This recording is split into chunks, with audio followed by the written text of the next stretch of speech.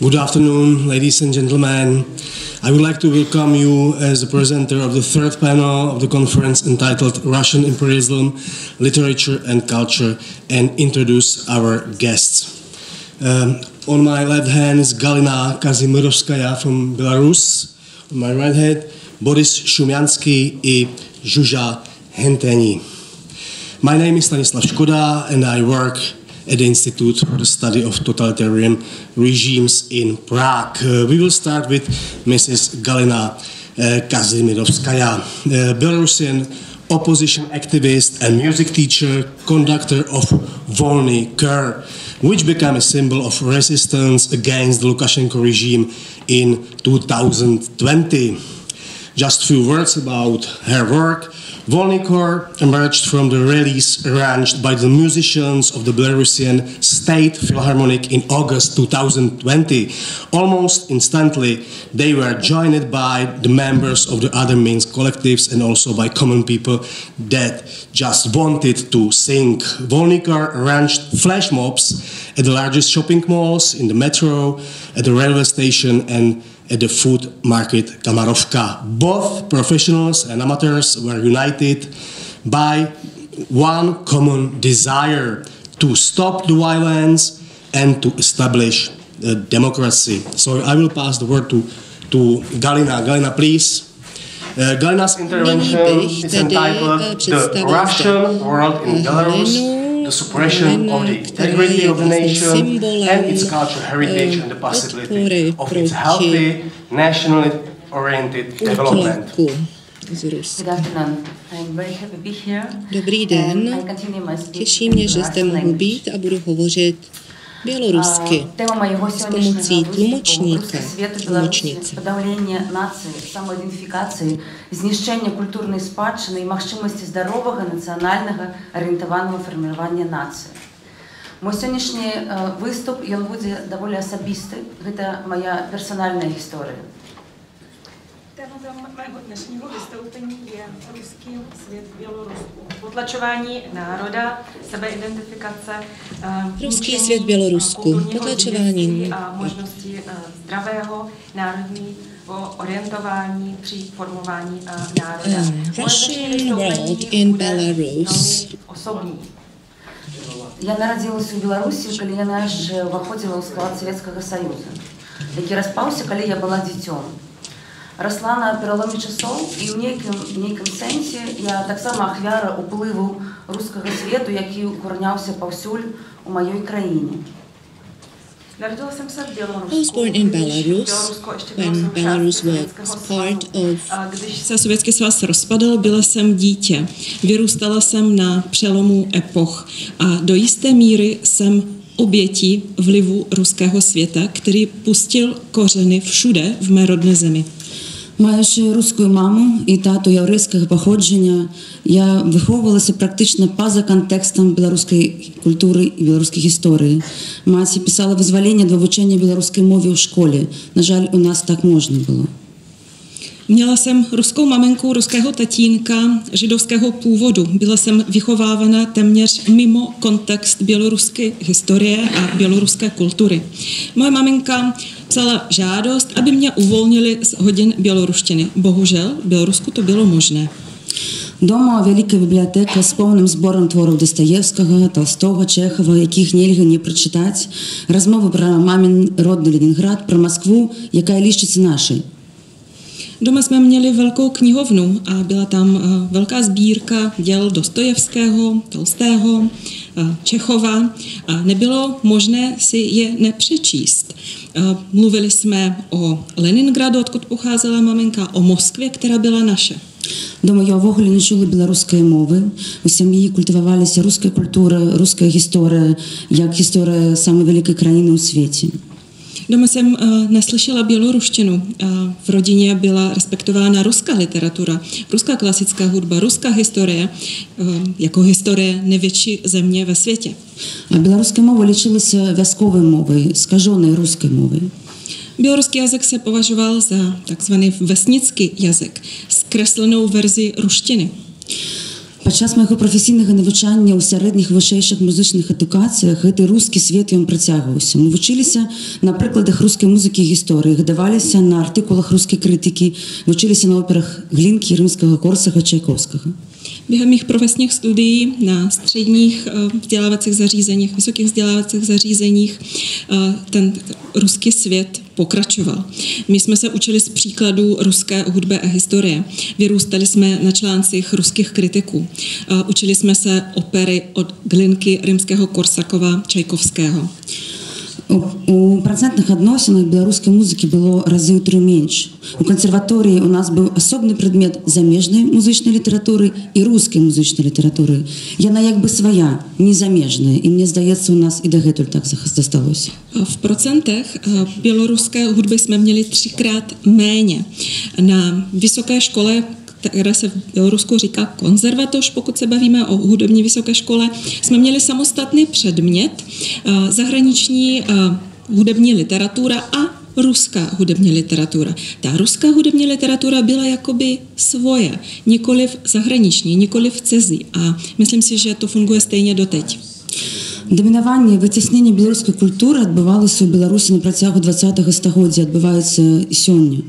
На жаль, той механізм, які быў запушчаны камуністамі выдатна працаваў. Тэлебачанне, радыё, падручнікі ў школе, сімволіка, шыльды, прапаганда, кінаіндустрыя, тэатры ўсё працавала, каб э, у нашых галовах, у нашых сэрцах, у нашай свядомасці укаранился рускі свет. Převládání a odsouvení ehm, běloruské kultury probíhalo v Bělorusku během 20. století. Probíhá i teď. Bohužel ten ehm, mechanismus, který byl spuštěn komunisty, výborně funguje stále. Televize, rozhlas, učebnice ve školách, symbolika, cedule, propaganda, kinematografie, divadla. Všechno fungovalo proto, aby pouštělo kouřeny ruského světa do našich hlav, do našich srdcí, do našeho vědomí. Размаўляць на вуліцах па-руску было натуральна. Размаўляць па-беларуску дзіўна. Людзі просто пачыналі аглядвацца. Mluvit venku rusky bylo něco přirozeného. Mluvit bělorusky bylo zvláštní. Lidi se na tebe začínali nějak zvláštně dívat. Але для людзей майго пакалення гэта не было нечым штучным. Гэта быццам бы так толькі патрэбна быць. Гэта все заходзіла як роднае без бачнага супраціву. Pro lidi mé generace to nebylo něco umělého, bylo to přirozené a nevyvolávalo žádný odpor. Конечно, весь час беларуская культура існавала і развівалася. Яна друкавалася невялікімі накладамі і збірала невялікія залі. І дзякуючы якраз выдатным прадстаўніком беларускага мастацтва, якія пранеслі яе праз рэпрэсіі, праз э, абыякавасць, праз немоднасць, яно захавалася, яно не знікла. Nehledě na to, běloruská kultura existovala a rozvíjela se. Byla tištěna velkými náklady, svolávala sály, prorážela si cestu a díky vynikajícím zástupcům běloruského umění, kteří to umění pronesli přes represe, lhostejnost, ne, modní trendy, se ta kultura, to umění zachovaly, nezmizely. Мой шлях да Беларусі я пачала ўжо ў свядомым узросце. Сустрэла свайго будучага мужа беларускай кампазітара і барда. І для мяне для сябе адкрыла новы свет. Беларускі паэты, музыкі, літаратары, мастакі, аказваецца, ёсць цэлыя супольнасці, у якіх гавораць па-беларуску, ведаюць сваю гісторыю, шануюць і любяць беларускую культуру. Moje cesta do Běloruska začala v uvědomělém věku. Potkala jsem svého budoucího manžela, běloruského skladatele a barda. A k mému překvapení jsem si objevila nový svět. Běloruští básnici, běloruští hudebníci, literáti, umělci. Existují celé, celá společenství, komunity, kde se mluví jenom bělorusky, kde lidi vědí svoje dějiny, respektují je a mají rádi běloruskou kulturu. Я пачала папаўняць прабелы ў сваім невудстве неведанні. Страшна было даведацца з часам, як знішчалі беларускую культуру яе прадстаўнікоў на працягу два стагоддзя. Фізічна знішчалі. Даведацца пра чорныя спісы дзеючого мастацтва, які існуюць да гэтай пары. Беларусь перажыла некалькі хваляў рэпрэсій і спроб сцерці ўсё беларускае. І тут вельмі складаны гістарычны шлях падаўлення нацыі не толькі савецкімі ўладамі, але, напрыклад, польскімі. Začala jsem si doplňovat mezery ve své nevzdělanosti a neznalosti.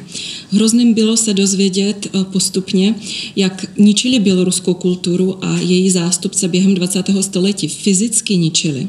Dozvědět se o tom, že existovaly černé listiny umělců a lidí od kultury a takové seznamy existují v Bělorusku dodnes. Bělorusko zažilo řadu eh, vln represí a pokusu eh, vygumovat všechno běloruské a je tu velmi náročná historická doba a cesta potlačování v podstatě národa. A to nejen sovětskou mocí, ale v řadě případů i polskou. Напэўна, беспрэцэдэнтны выпадак у свеце, калі ў ноч з 29 на 30 кастрычніка 1937 года у Менску адбылася акцыя, аналагу якой не ведае гісторыя чалавецтва. На працягу адной ночы сталінскім загадам былі расстраляны больш за 130 дзеячаў мастацтва, культуры, навукі. У ліку расстраляных было 22 паэты. Asi je to bezprecedentní případ eh, pro svět v Bělorusku. Eh, noc eh, z 29. na 30. října roku 37 v Minsku proběhla razie, která ne, asi nemá analogii v dějinách lidstva. Během jedné noci na základě nařízení od Stalina bylo zastřeleno přes 130 zástupců představitelů kultury, umění a vědy. Mezi zastřelenými bylo 22 běloruských básníků. Вось таким вось так адным махам забіць лепшых сердце задушыць беларускае слово беларускую думку забойствы беларускай інтэлігенцыі будуць працягвацца на жаль і ў 1938 39 і пазней А яшчэ будуць высылкі ў Сібір у лагеры сотні людзей у тым ліку прадстаўнікоў беларускай культуры якія апынуцца ў вымышленай эміграцыі спачатку нямецкіх лагерах для перамешчаных асобаў а пасля раскіданыя па ўсім свеце Během jedné noci zavraždili ty nejlepší, vygumovali je chtěli uh, udusit běloruské slovo, běloruskou myšlenku. Vraždy uh, páchané na běloruských intelektuálech budou pokračovat i v roce 38, i v roce 39, i později. A k tomu ještě nucené přestěhování na Sibiř, do táboru. Uh, stovky lidí, včetně zástupců běloruské kultury, se ocitli v nucené emigraci. Nejdříve v německých táborech pro přesunuté osoby, později byly přesunuty po celém světě. Паводле розных падлікаў на працягу другой сусветнай вайны на захад выехала каля 100 тысяч беларусаў і сярод іх быў пэўны адсотак дзеючай беларускай культуры. Podle různých statistik během druhé světové války na západ migrovalo spousta, spousta lidí Jedná se o stovky tisíc eh, Bělorusů mimo jiné. Mezi nimi eh, byli eh, zástupci běloruské kultury, spisovatele, skladatelé, umělci, herci. Эміграцыя была вымушаная, яна была палітычная па сваёй сутнасці. Яе ўдзельнікі не жадалі зноў жыць пры савецкай уладзе і на захадзе выступалі як выразныя антыкамуністы. Але ж за мяжой большасць іх працягвалі займацца беларускім пытаннем, прасоўванне беларускай культуры. І гэта таксама велізарны кавалак працы ў справе захавання беларускай культуры, яе ўплыў, якая ўплывала і ўплывае зараз на сёння на тую беларускасць, якая ўнутры краіны. Emigrace byla nucena, ale podle své podstaty byla politického rázu. Jelikož ti, kteří emigrovali, nechtěli žít za sovětské moci a na západě vystupovali proti komunismu. V zahraničí většina z nich pokračovala v běloruské problematice snažili se propagovat běloruskou kulturu. A je to velký díl práce, co se týká zachování běloruské kultury. A ten jejich díl práce má vliv i na to, že dokážeme udržovat tu běloruskost dnes uvnitř země. У 2020 годзе я стала сведкам гістарычнага феномена нацыянальнага абуджэння і адраджэння нацыі. Я зараз не хочу разважаць, ці правільна мы ўсё зрабілі ў двадцатым годзе, ці мы прайгралі, згубілі краіну. V roce 2020 jsem eh, byla svědkem eh, historického fenoménu národního probouzení, obrození běloruského národa. Já nyní eh, dnes nechci se pouštět do diskuze, jestli jsme všechno, co jsme udělali, udělali správně, jestli jsme uspěli nebo prohráli, jestli jsme ztratili zemi. Але я хочу рассказать об тысячах людей, якія перайшлі на беларускую мову, взялі за беларускія кнігі, заспявалі беларускія песні. Я бачила на ўласныя вочы, як нарэшце нацыя зразумела, кім яна ёсць і павярнулася тварам да беларускасці.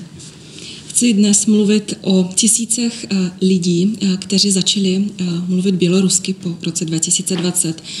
Pustili se do čtení běloruských knih, začali zpívat běloruské písně. Viděla jsem, jak se národ probudil, jak pochopil, co je zač a obrátil se tvářem k běloruské kultuře. Тое, што адбылося з такой вялікай колькасцю людзей і ўвогуле з нацыяй феномены прарыў, які ўжо нікуды не дзенецца. To, co se odehrálo s tak velkým počtem lidí a obecně s běloruským národem, je to fenomen, je to přelom, který již nikam nezmizí. І вось як калісьці я сама адшукала ў сабе беларускую асобу, адшукала сваю э, сваю беларускасць імкнула раскопваць вакол сябе яе. Гэтаксама адбылося з нацыі. Stejně tak, jako kdysi já jsem si našla tu cestu k běloruské kultuře, našla jsem si v sobě Bělorusku a takovým způsobem se to odehrálo i v tom roce 2020 s celým národem. I самое главное, что белорусское отгукалось у людях. Смага да, да беларускага слова, гісторыі, культуры расла і павялічвалася. Здаецца, адкуль любоў да вершаў, на якіх мы не раслі, адкуль любоў да песень, якіх мы не чулі раней. Тое, што іншыя народы бяруць з малаком маці, мы павінны былі шукаць, здабываць, змагацца за права мець Беларусь. A na, nejdůležitější na tom je, že ta běloruská kultura um, přinášela radost lidem. A lidi začali cítit hlad po běloruském slovu, po běloruské historii, kultuře a ta kultura rostla, a množila se. Zdá se, odkud se bere láska k básním, na kterých jsme nevyrůstali, odkud se bere láska k písním, které jsme dřív neslyšeli. To, co jiné národy si berou s mlékem od maminky, my jsme museli najít dosáhnout toho a museli jsme bojovat za samotné právo mít běloruskou kulturu a Bělorusko. Так сталося, што ў жніўні 2020 года я стаяла ля стварэння вольнага хора, дырыжорам і кіраўніком я з'яўляюся як, якога да гэтай пары. Вольны хор гэта унікальная культурніцкая з'ява, палітычна-музычны рух, які з'явіўся падчас пратэсту ў Беларусі ў 2020 годзе і ў нейкім сэнсе стаў сімвалам рэвалюцыі для мільёнаў людзей. Stalo se to, že v srpnu 2020 jsem byla u zrození takzvaného volného pěveckého sboru, volný chor. Byla jsem dirigentkou a vedoucí a jsem jí doteď. Volný chor, volný pěvecký sbor je unikátní kulturní jev, politický hudební hnutí, které vzniklo během protestů v Bělorusku a stalo se z něj symbol revoluce pro miliony Bělorusů. Хор спявае найбольш знакавыя беларускія песні і гімны, ладзіць флэшмобы на вуліцах і грамадскіх месцах з'яўляецца ніадкуль і знікае нікуды паўсюль. Нічога падобнага яшчэ не было ў Беларусі магчыма і ў свеце. Гэта хор з народа, гэта голас народа. Pěvecký sbor Volný chor zpívá nejdůležitější, nejsymboličtější, nejcharakterističtější běloruské písně, hymny. Pořádá blesková akce v ulicích, v veřejném prostoru. Vzniká od někud a pak mizí nikam. Nic podobného v Bělorusku dřív nebylo a možná i ani ve světě. Je to sbor z národa a je to hlas národa. Слухаючы нас людзі падхоплівалі песню, спявалі разам разам з намі. Паступова наш рух развіваўся, мы стварылі нотныя зборнікі, мы записывалі альбомы беларус, беларускіх песен, разладзілі шэраг канцэртаў у дварах Менска, на якіх не толькі выконвалі песні, але развучвалі спяваць гэтай песні жыхарамі гэтых двароў, распавядалі пра аўтара гэтых песен.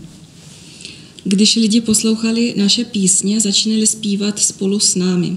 Postupně se to hnutí rozvíjelo. My jsme eh, vytvořili eh, notové listy, notové sbírky běloruských písní. Nahráli jsme alba. Ehm, uspořádali jsme eh, řadu koncertů ve dvorcích v Minsku. A tam se zpívali nejen písně, ale i lidi se učili zpívat. Připojovali se k nám obyvatele těchto dvorků. Ehm, vyprávěli jsme o autorech těchto písní. Mnozí z nich byli zastřelení ve 30. letech minulého století anebo deportováni ze země. Ještě nikdy zborové umění nedosahovalo takové úrovně. Люди паўсюль пачалі спяваць, вучыць песні. Усюды чакалі з'яўлення хору. Песня давала людям силы, давала надею, подтримливала, объединовывала народ. Lidi začali zpívat, začali se učit písni, všude čekali na ten náš pěvecký sbor píseň, dávala lidem sílu, podporovala je, spojovala, dávala dohromady. Цікава рэч на пачатку з'яўлення вольнага хора нам не было не было чаго спяваць мы амаль не ведалі сваіх песен менавіта тады я даведалася колькі музыкі было знішчана схавана ад беларускага народу Zajímavost. Na začátku vzniku volného pěveckého sboru jsme neměli co zpívat, protože jsme nevěděli ty svoje písně. Právě tehdy jsem se dozvěděla, kolik hudby bylo zničeno, kolik hudby bylo schováno před běloruským národem. Я атрымала вышэйшую музычную адукацыю. І аказалася, што не ведаю дзесяткі прозвішчаў беларускіх аўтараў, сотні іх твораў. Зато я могу распавесці пра музычныя рысы асноўных герояў Івана Сусаніна глінкі і на памяць на памяць спяваю паліфанічныя творы танею. Ёсць такі жанр хрывая песня. Звычайна яна мае патрыятычны характар, яна напісана пра любоў да радзімы, пра прыгажу свайго краю. У кожнай краіне ёсць такія песні, гімны, якія ведаюць і спяваюць з дзяцінства. іх праслаўляецца свой край. Менавіта праз такія песні фармуецца, яднаецца нацыя. Ačkoliv jsem získala hudební vzdělání vysokoškolské, zjistila jsem, že nevím desítky příjmení běloruských autorů, stovky děl od běloruských autorů, ale za to můžu vyprávět o hudebních charakteristikách základních hrdinů Ivana Susanina od Glinky. Na, pamě, na paměť dokážu zaspívat polyfonické díla od Tanejeva. Existuje takový žánr, zborová píseň. Eh, v podstatě se většinou jedná o eh, vlastenecké eh, písně, kde se vychvaluje láska k vlasti a krásy rodné země. Každá země má takové zborové písně, hymny. Všichni je umí, všichni je zpívají od malička a jak se vychvalují ten svůj kraj, tu svou zem. Právě díky takovým písním se formuje a dává se dohromady národ. Амаль ніводнай такой беларускай песні мы не ведалі. Яны нідзе не гучалі. Гэтых нот не было ў бібліятэках. Шмат матэрыялу было знішчана. Шмат стваралася ў міграцыі і не дахадзіла да нас, было забаронена, выкраслена. атрымалася што ў нас скралі цэлы жанр музыкі увесь час хтосьці адмыслова замінаў нам быць нацыяй V podstatě skoro žádnou takovou běloruskou píseň jsme neuměli, protože nikdy nikde nezněly. Nebyly noty v knihovnách. Spousta materiálů bylo zničeno. Něco je v emigraci, ale částečně zmizelo v té emigraci a nedostávalo se do nás, nebo k nám do Běloruska. Případně bylo zakázáno, vyřazeno. Ukradli nám žánry hudební. Только за один месяц мы отшукали десятки таких песен и вернули их в музычную простору. Для меня гэта быў сапраўдны суд, бо за месяц дзейнасці вольнага хора гэтыя песні, якія мы спявалі на вуліцах Менска, яны разлетеліся по ўсёй jako kdyby někdo nám překážel, abychom byli národem. No a my eh, během jednoho měsíce jsme se snažili eh, dohledat eh, ty zapomenuté písně.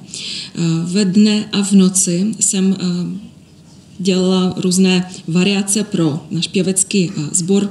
Sestavovala jsem noty, abychom co nejrychleji s eh, zástupci eh, volného sboru jsme se to naučili. Pro mě byl to opravdový zázrak. Během měsíce činnosti, fungování volného pěveckého sboru. Jsme zpívali desítky písní v ulicích Minsku a ty písně začaly být známé po celé zemi. Zdaje se prostě písně. Але не проста. Праз тэксты і сэнсы мы лепш разумелі гісторыю свайго народа, усведамлялі сваю прыналежнасць да яго, адчувалі сабе адзінай нацыі, асобнай нацыі. І нарэшце адчулі гонар несці ў сабе Беларусь. Мы змаглі прабіцца праз рускі свет і выцягнуць сваё. Se, jenom písně, obyčejné písně, ale přes texty, přes smysly, které jsou v nich obsaženi, jsme si lip uvědomili eh, dějiny vlastního národa, uvědomili jsme si svoji příslušnost, začali jsme se cítit jako národ, samostatný národ a konečně jsme pocítili hrdost za to, že neseme v sobě Bělorusko. Dokázali jsme si prorazit cestu přes ruský svět a vytáhnout na venek to svoje, to běloruské. Чем больше популярным и масштабным робился наш рух, тем больше небяспечны быў удзел у ім. Нас сталі адшукваць, сажаць у турмы і усяляк перашкаджаць нашай дзейнасці. Падчас рэпетыцыі на нас рабілі аблавы, за нами сачылі, і неаднаразова нам падчас нашых выступаў нам даводзілася проста ўцікаць і хавацца ад амапу. Čím populárnější a větším eh, bylo naše hnutí, tím to bylo nebezpečnější pro nás eh, se účastnit tohoto hnutí. Začali se nás vyhledávat, dávat do vězení, různými způsoby překážet v naší činnosti. Eh, během zkoušek na nás pořádali, prováděli razie. Sledovali nás. Vícekrát během našich vystoupení jsme se museli schovávat před příslušníky silových složek OMON. Хор рэпетуе падпольна, захоўвае свой, хавае свае твары і імёны. У партызанскіх умовах мы записываем кліпы лазім онлайн-канцэрты.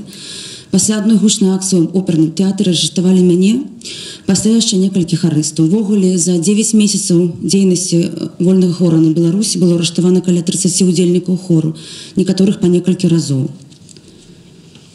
Pěvecký sbor funguje ilegálně, schovává svoje tváře a jména. Za partizánských podmínek nahráváme videa a pořádáme koncerty online. Po jedné větší akci u operního divadla zatkli i mě a také několik dalších účastníc, účastníků sboru. Během devíti měsíců fungování pěveckého sboru bylo začeno zhruba 30 jeho účastníků. Někteří, někteří byli začeni vícekrát. Были прысуды, катаванні, вялікія штрафы. На асобных удзельнікаў хора заведзены крымінальныя справы за тэрарыстычную дзейнасць. Некаторым з нас пагражае ад 8 до 20 гадоў турмы, калі мы вернемся на радзіма. Padly výroky, docházelo k mučení, k obrovským pokutám. Někteří účastníci pěveckého sboru jsou trestně stíhaní a pokud se vrátí do Běloruska, hrozí jim vězení 8 až 20 let. Jsou vnucené migraci. І зноў вымушаная міграцыя і зноў спроба задушыць усё беларускае. Маштабу праўда такога яшчэ не было, але ж і мы не першыя ў гэтай гістарычнай кропцы і здавацца мы не збіраемся. A zase nucená migrace a zase pokus zničit všechno běloruské. Ale tak velké měřítko, jako v tom roce 2020 dřív nikdy nebylo. A nejsme první v tomto historickém bodě a nehodláme se vzdát. На сённяшні момант у Беларусі працягваюцца рэпрэсіі ў дачыненні у тым ліку да дзеючого беларускага мастацтва. Іх праслед, знішчэнне культурнага асяроддзя, вынішчэнне культурных з'яў праектаў выгнанне дзеючай культуры забарона на беларускамоўную культурную дзейнасць закрыццё шматлікіх беларускіх арганізацый ініцыятыў звальняюць беларускіх дзеячаў мастацтва V dnešním Bělorusku probíhají represe mimo jiné vůči zástupcům činitelům kultury. Jsou pronásledování, je ničeno kulturní prostředí, jsou ničeny kulturní jevy, projekty, dochází k nucené migraci umělců. Je zakazováno téměř všechno, co je spojeno s běloruskou kulturou. Dochází k zavírání četných běloruských organizací, iniciativ. 11 ліпеня ў беларускай турме быў забіты мастак алесь пушкін які ў 22 годзе быў асуджаны на 5 гадоў пазбаўлення волі ў турме узмоцнага рэжыму за здзек з дзяржаўных сімвалаў і распальванне варожасці. Падчас арышту алеся на яго вачах усе яго працы былі знішчаны дубінкамі амапа. Ён памёр у гродненскім шпіталі куды быў прывезены ў непрытомным стане под канвоем з турмы Смерть наступила про неоказание медицинской допомоги.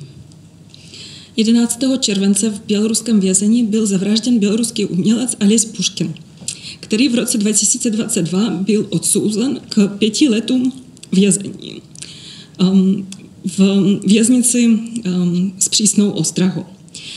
Byl odsouzen a jeho díla byla zničena obušky OMON. Během um, zatčení došlo samozřejmě i k zmlácení Alese. Zemřel v nemocnici v Hrodně, kam byl převezen v bezvědomí s ozbrojeným doprovodem. Zemřel přesto, že mu nebyla poskytnuta včas zdravotní péče. У турме знаходзіцца музыка Марыя Калеснікава, якой прысуджана 11 гадоў пазбаўлення волі ва калоні у калонію з агульным рэжымам. Пра стан яе здароўя, увогуле нейкія звесткі аб ёй яе родны не атрымоўваюць ужо больш за 7 месяцаў. Во vězení se nachází Marie Kalesníková. Byla odsouzena k 11 letům vězení. Zase v věznici s speciálním režimem ostrahy. Ohledně jejího zdravotního stavu její příbuzní nic neví po dobu posledních sedmi měsíců. Некалькі дзён таму тром удзельнікам беларускага гурта турбен прысудзілі до 9 гадоў узмоцненага рэжыма і велізарныя штрафы. Яны песни. Před několika dny um, zástupcům hudební kapely Torbent um, padly um, rozsudky um, 9 let vězení. Jenom zpívali, jenom zpívali písně. Лукашенковский режим баіцца песень баіцца таго эфекту ад песні які ўздзейнічаны беларускі народ. Лукашэнкаўскія ўлады спрабуюць вымаць беларускасць беларусі знішчыць памяць перапісаць краіну. Лукашэнков рэжым сабой песні. Боіся того эфекту который который можа міць пісань. Snaží se to vymítit, protože píseň může ovlivnit běloruský národ. Lukašenková vláda se snaží vymítit všechno běloruské z Běloruska, zničit paměť a přepsat dějiny země. Гэта робіцца асэнсавана і агрэсіўна. Напрыклад, падчас марша ў 2020 годзе людзей, які размаўлялі па-беларуску, пазначалі маркерам чырвоны крыж на, на лбе. І тады іх білі больш, менавіта за мову. Dělali to uvědoměle a agresivně. Během uh, pochodu uh, protestních v roce 2020 mlátili více ty lidi, kteří mluvili bělorusky, právě za ten jazyk. На допытах у следчым камітэце падчас допытаў мне весь час сказали говори со мной нормально během výslechu v vazební věznici u vyšetřovatele stále mi říkali, mluv, mluv se mnou normálně a říkali to rusky. На працягу сваёй улады Лукашенко адкінуў Беларусь на дзесяцігоддзе у савок у лабы рассеі, аддаў нас задарма. Сёння ў школьных падручніках вырываюць беларускія імёны, перапісваюць гісторыю, а дзеці на святах спяваюць кацюшу. Гэта сілавы захоп краіны, і ён не будзе трымацца доўга, не можа. Během své vlády Lukašenko odhodil Bělorusko desítky let zpátky do takzvaného savku, sovku, což je ta sovětská doba, do spáru Ruska a odhodil nás tam zdarma. V školních učebnicích nejsou běloruská jména, připisují dějiny. Děti o svácích zpívají Kaťušu, což je ruská píseň. Je to silové zabrání země, ale nebude trvat dlouho. Nedokáže vydržet dlouho Але ж добрымі знакамі таго, што не будзе як раней з'яўляецца для нас тое, што ў Беларусі ўсё ж такі расце партызанскі рух. Беларуская культура хоць і сышла ў падвалы, але ж жыве. Dobrým signálem je to, že se situace nevrátí do té předchozí. To, že existuje v Bělorusku takzvané partizánské hnutí. Běloruská kultura sice je v ilegalitě, ale běloruská kultura žije. Раней у эміграцыі беларусы вельмі хутка асіміляваліся, проста раствараліся ў новых краінах. Зараз гэта моцныя беларускія згуртаванні ў замежжы, самаарганізаваная супольнасць. Беларускія школы, клубы, розныя арганізацыі, дзясяткі якіх паўсталі за апошнія некалькі гадоў у Польшчы, Літве, Латвіі, Германіі, Чэхіі, Эстоніі і іншых краінах сведчаць аб нашым намеры выйсці з-пад рускага света, абудаваць свой. Dříve, když se Bělorusové eh, ocitli v emigraci, tak poměrně rychle docházelo k jejich asimilaci. Eh, Mizeli eh, v uvozovkách v nových zemích. Teď to jsou silné běloruské spolky, asociace v zahraničí, mají aktivity, mají činnost, běloruské školy, kluby, různé organizace. Жаданне адрознівацца, быць прыналежным для беларускай нацыі, выхоўваць дзяцей у беларускім кантэксце, займацца самаадукацыяй, выпаўняць прабелы, вяртаць беларускую культурную спадчыну, падтрымліваць суадчыннікаў, тыя працэсы, якія даюць нам разуменне нашай ідэнтычнасці. Гэта той беларускі свет, свет кніг, песен, канцэртаў, лекцый, спектаклей, сустрэч, які мы будуем і які кожны дзень перамагае рускі свет. Snaha se odlišit, eh, být eh, součástí běloruského národa, vychovávat děti v běloruském kontextu, v běloruském prostředí, ehm, ehm, jak si, si doplňovat eh, mezery, navrácet běloruské kulturní dědictví, podporovat ehm, další Bělorusy. To jsou procesy, které nám poskytují pochopení naší identity. Je to běloruský svět, svět knih, písní, koncertů, přednášek, eh, divadelních představení, setkání. A s těmito eh, jevy každý den vlastně eh, vítězíme nad tím ruským světem. Thank you for your attention. Za pozornost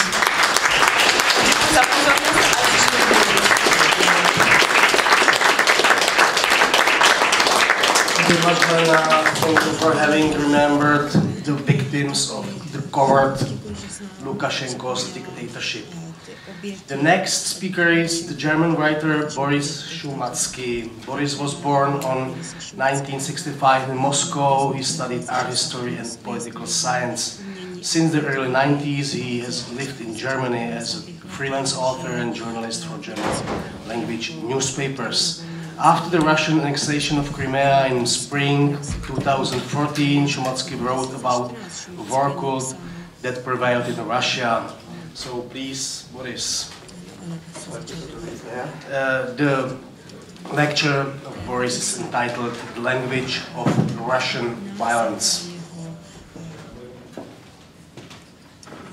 So um, I'm also going to mention this Russian world you talk about from the other angle, because this Russian world a lot of violence. So Russian violence is language. Before I read my piece, I want to clarify two important points. First, uh, what I mean when I call this violence Russian.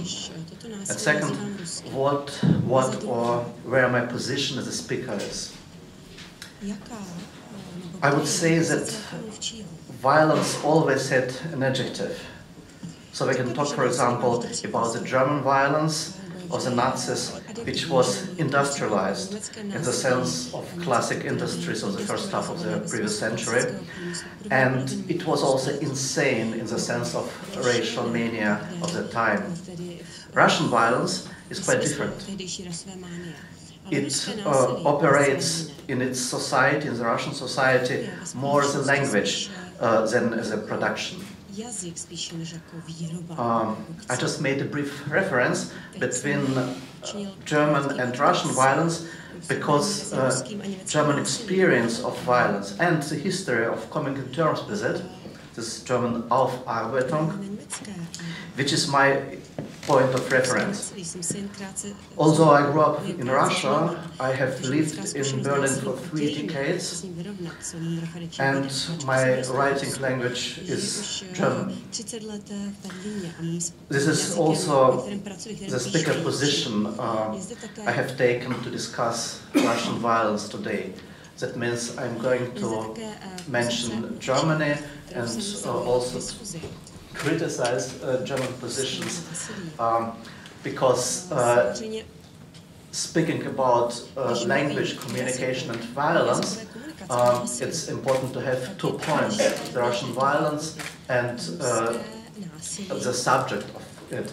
Okay, um, what I'm going to read is sometimes uh, an essay, an analysis, and often a short story. I start with a scene I imagined Imagine when I was a young man. The code of violence. They surround me, five or six young men in field uniforms. I smell all sweat. I hear they're going to kick your kidneys until you piss blood. Then they drag me, or so I imagined, into the toilets of their barracks and push my head into the toilet bowl. About half an hour later, I would be what they call kicking the bucket on the wet tile floor with internal and external injuries I won't list here. By that time, I was 17 years old and I did not think that I would survive the next year of my life. Today, Russian and Soviet men uh, today Russian and uh, formerly Soviet men are drafted into the army at the age of 18. One there, the new conscripts are systematically abused, and mama's boys like me are often beaten to death or driven to suicide. The abusers are other soldiers, usually only a few months older. Anyone growing up in Russia knows dozens, dozens of names for violence. The one in the army barracks is called Dedovshchina. Hundreds of thousands of young men are abused there every year, often beaten, sometimes raped or beaten to death. During the first few months, they are called dukhi or synki, ghost, ghosts or little sons. They are forced to wash the underpants of other soldiers by hand if they don't want to lick out the toilet bowl with their tongues. Any ghost who submits to this dedovshchina is later promoted to dad, grandfather, and is now allowed to educate the new arrivals himself. In this way, an endless circle of violence is created that has shaped all of Russia's closed institutions for decades. The army, prisons, foster homes, mental hospitals, and many, many others. From there, this system, this circle of violence, penetrates more or less the whole society. It is not primarily a matter of physical strength, but the willingness to use violence. Putin understands only strength.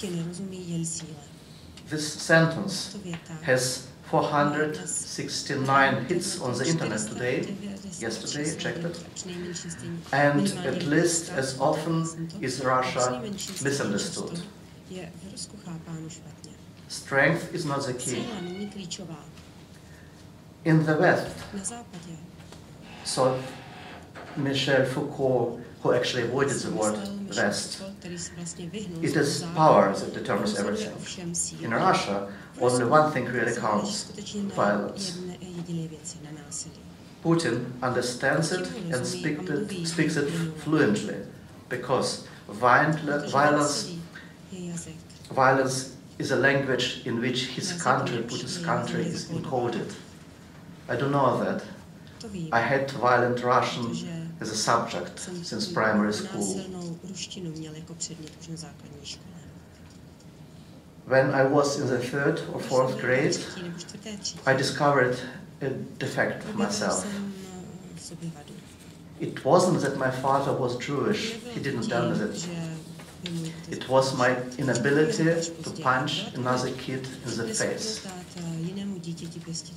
It was alright for me when uh, it happened in a game, but in a real life situation, like outside the biology room with Sergei, I was paralyzed. We are waiting outside the door, biology is about to start, and suddenly Sergei gets really serious. He says something to me, and I recognize it as an opening sentence of violence. Usually it's an insinuation. You stole my toy Indian, even though he traded it for, for a cowboy. Or Putin's accusation against NATO. You are encircling us. Both means as much as light tap on the shoulder. Sergei is waiting to see how I react. He grins. This Sergei is actually a nice boy. In a school where we would have learned only Russian or biology and not the language of violence, we might have been friends. But here it is better to be zloy, evil. In Russian, evil is often good. An evil watchdog is a good one. Our teachers even talked about healthy evilness in sports, for example. An evil person is strong and merciless, which is how which is how many Western European peace activists see Vladimir Putin. For them, peace means stopping all resistance, not provoking the aggressor.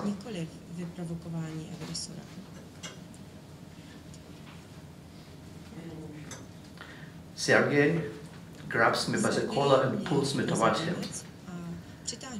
But I can feel that he is still hesitating.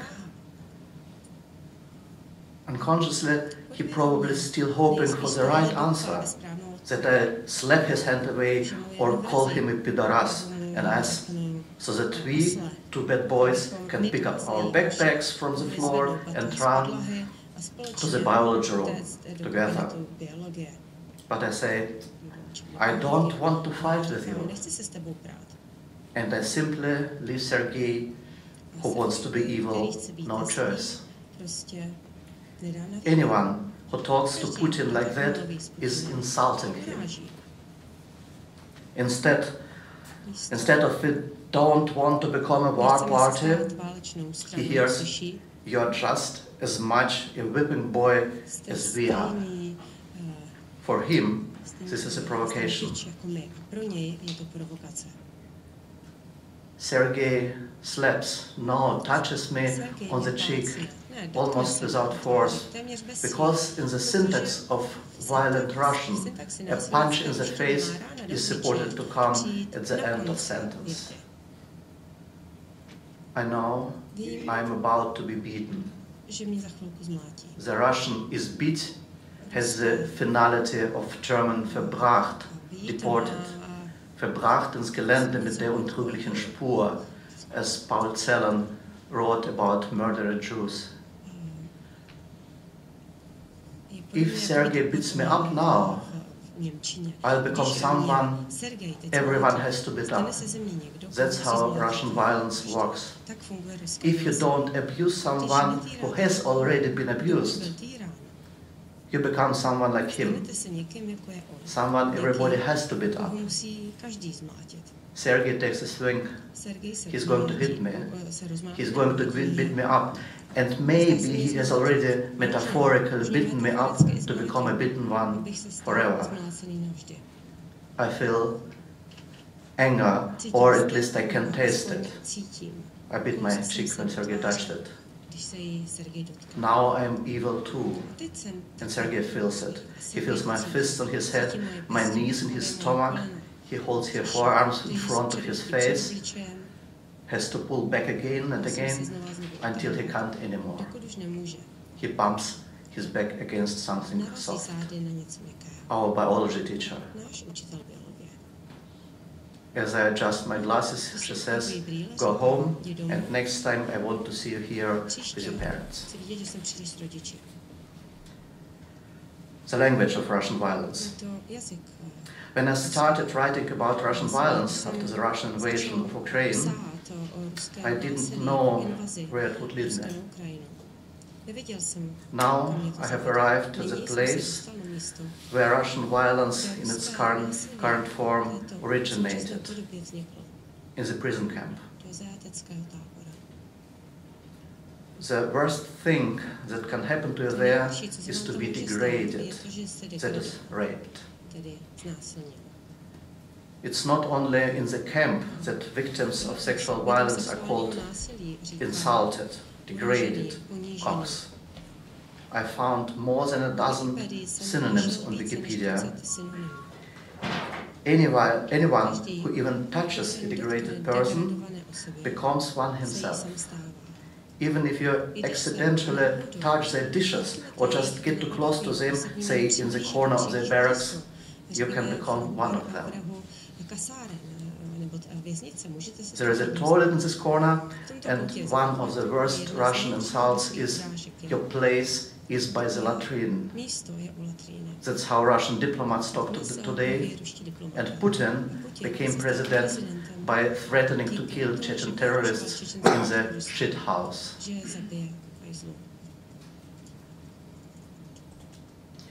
Please, no escalation, no nuclear death. Only downgraded people sound like that in violent Russian. They must be beaten into their place in the latrine by any means necessary, including nuclear weapons. That is a basic law of the prison camp.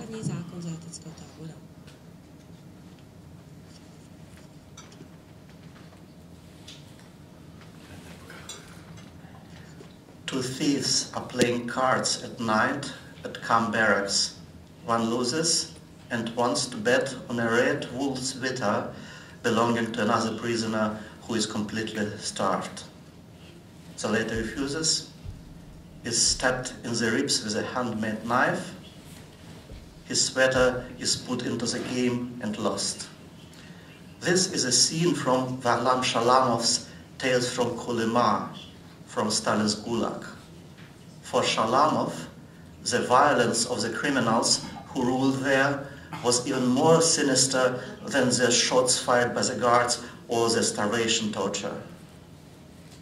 It seemed worse to me too, but my high school classmates used to tell stories about, about bandits in our camps who gambled with the least lives of other prisoners. If I lose, I stab three cocks. Not many boys thought it was funny but the way they said it made it sound like they would do the same thing if they came to camp. Better to stab a cock than to be one yourself. Shalamov probably did the best job of writing down this violence. At the same time, he warned, no one should know or even have heard of camp. The camp means corruption for everyone, for Camp commandants and prisoners, for guards and for readers of fiction. And on another occasion, he was even more explicit. There is much in the camp that a man should not know, that he should not see. And if he had seen it, it is better for him to die. This knowledge about the violence in the camps has everyone in Russia. A third of male population was in the camp or is there now. Even the, even the people who refused to speak violent Russian. My parents, my friends, there were many of them, and there still are. And they are also aware of the camp like Shalamov. Shalamov died in a psychiatric ward, maybe because of his genetic disease, maybe because of, of this knowledge. Violence is colonial, colonial oppression. I start with a small flashback. In two weeks from now, Putin will give the order for a full-scale invasion of Ukraine. And now he is giving a press conference and is not in a, in a good mood. His botoxed face only slightly moves as he addresses the last two lines of this Russian folk rhyme to Ukraine. My sweetheart lies in a coffin. I'll make a pass at her, I'll fuck her, whether you like or not. You have to bow down to me. The last two uh, lines, uh, the, the, first one with uh, swears. It, it doesn't. It didn't say.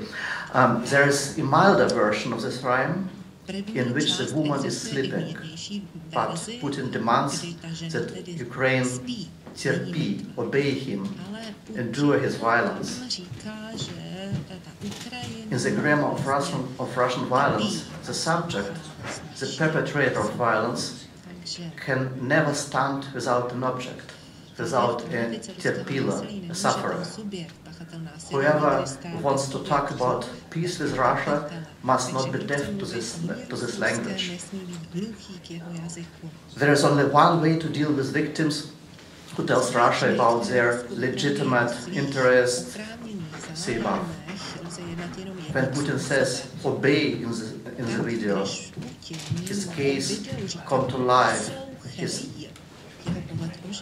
eyes narrow, one corner of his mouth lifts, Putin seems satisfied with the act of speaking itself. Since the time of Tsars, countries like Russia conquered, uh, countries that Russia conquered were said to have been pacified. In the Soviet Union, this was called the struggle for peace. And we learned in uh, peace classes how the Western peace movement helped our country fight for peace all over the world. Today, they help Putin. Every time the word, the word peace is mentioned, even in an internet comment, it is registered in Russian open plain offices and thrown back at us with increased force. Every post means another bullet in somebody's flesh. Every flyer with Picasso stuff means that more people have to hide in the basement of their houses because uniformed men moved into their apartment, come to them in the basement, beat them up, rape them, shoot them until everything obeys them. Russian violence is obsessed with sex, or what it thinks sex is. Russia rapes people in Ukraine, and it does it in other countries it invades, and it does it in its own prisons, barracks, old homes, and homes. Sex, sexual violence is an instrument of submission. Violence and love.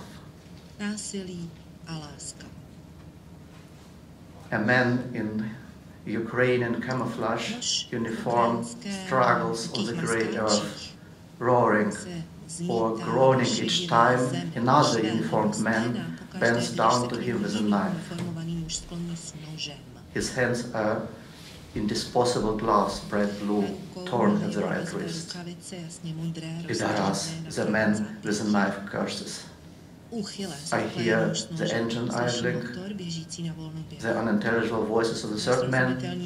The Russians are about to castrate a Ukrainian prisoner of war, and they're filming it on a cell phone. Unlike public executions in old Paris or Moscow, the Ukrainian soldier is not tortured for show.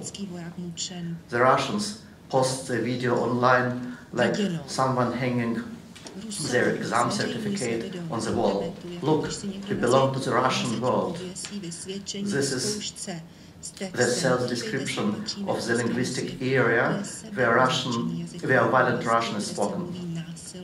Its borders, says Putin, don't end anywhere. There is no Russia, there is only a Russian Empire, said Sergei Witte, Prime Minister of the last Tsar, in 1911. And he should know, There is and has long been no Russia, no na nation state, only a web of colonial violence in which territories, countries and people are trapped. Lately, I've been seeing more and more online comments with Cyrillic word Russia spelled with a small r. This is grammatically correct because in Ukrainian and Russian and Belarusian, hmm? yeah, yeah, I, am sorry, I apologize. Uh, we have to take a break now, go to have a coffee, please, and then we come back and we continue with Žuža. So, please, uh, prosím, pojďme jako na kávu, vrátíme se za chvilku, nedá se nic dělat, jo. Musíme jako na chvilku předržet.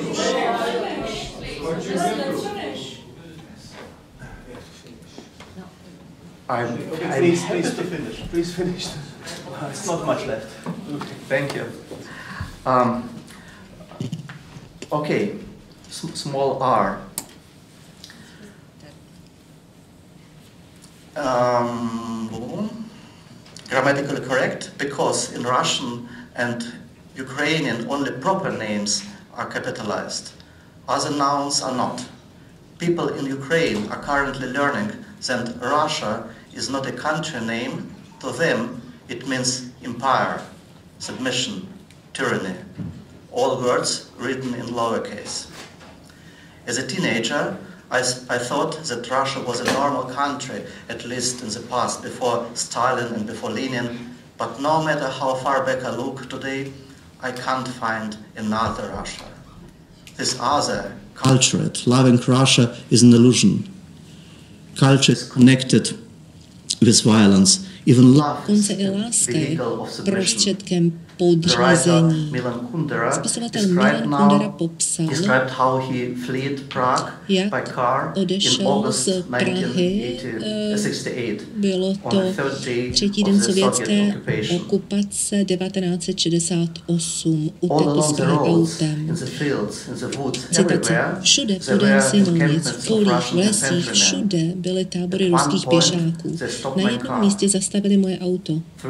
Tři vojáci začali prohledávat. Když operace skončila, důstojník, který nařídil, se mě rusky zeptal, jak čувствуете? To znamená, jak se máte, jak se cítíte. Jeho otázka neměla být zlomyslná nebo ironická, naopak. Jedná se o velké nedorozumění. Musíte si uvědomit, že my vás Čechy máme rádi. Kundera byl znechucen, když pochopil. Jejich postoj se nezakládá na sadistické rozkoši, rabiáta, ale na zcela jiném archetypu neopětované lásce. Vzpomněte si, jak Putin řekl Ukrajině, musíš se mi klanět.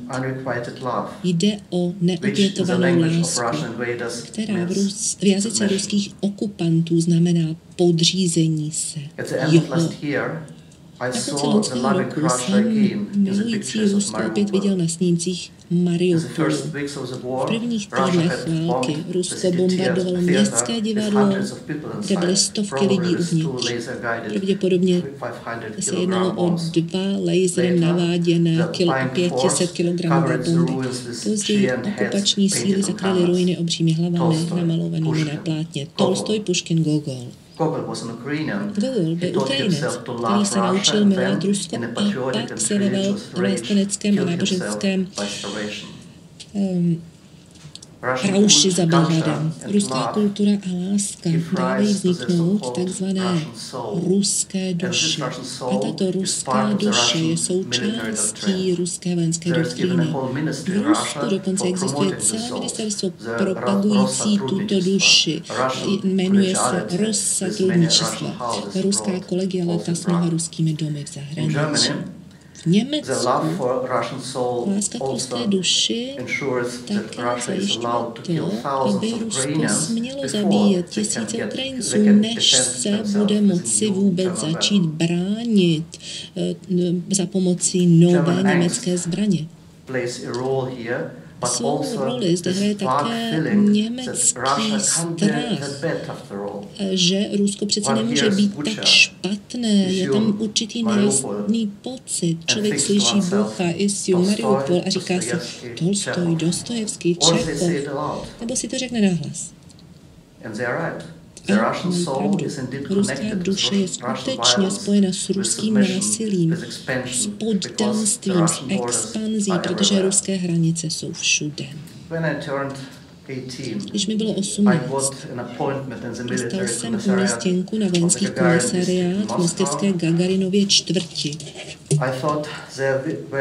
Myslel jsem si, že je šance tak 50 na 50, že se brzy zakousnu do prachu v kasárnách. Ne, on piss-stained floor ties v in their omočených toilet. dlaždicích na jejich My mother záchodě. saved me. Zachránila mě Through máma. acquaintances of Přes známé acquaintances, she got the známých phone- phone number získala of a telefonní general číslo jednoho generála and persuaded a him to přesvědčila ho, call aby my zavolal transport. mé odvodní According to the komisi. regulations, Podle předpisů My eyes were already jsem too totiž nearsighted byl for military příliš service, krátkozraký but na they vojenskou trusted službu, everyone, ale tehdy irrespective. odváděli každého, i neschopného, pokud neznal nějakého svého generála. Každopádně já jsem to přežil. Děkuji vám.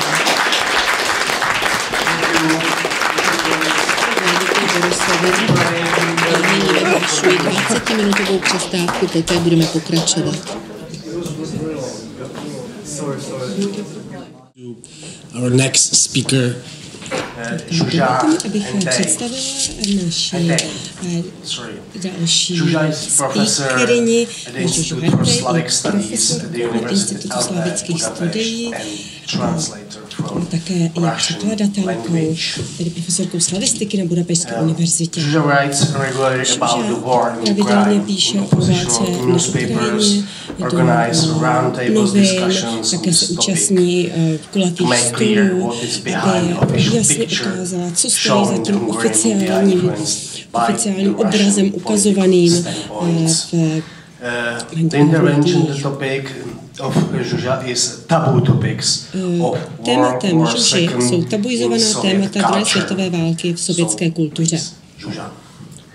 Thank you and thank you for the invitation. uh, Děkuji a děkuji za of such a pozvání. multicolor uh, Na conference. takovou barvitou In fact, konferenci. earlier I participated only in literary conferences. Dříve jsem se účastnila pouze literárních eh, konferencí a toto je pro mě v podstatě něco nového, 2022. protože od Uh, února I would love 2022 se to účastním i tě, speak tady těch you about političtěji Vladimir zaměřených Nabokov. a I- I historických. have wrote Chtěla about bych Vladimir mluvit o Nabokov, Na- but a Nabokovi, it's not the ale situation now. zde není situace, abych Uh, mluvila of o course he is Nabokovi, takže important not as a samozřejmě on je author, důležitý leader, nejen jako maybe, autor, but as Ale an inventor of the jako word vynálezce slova communazism.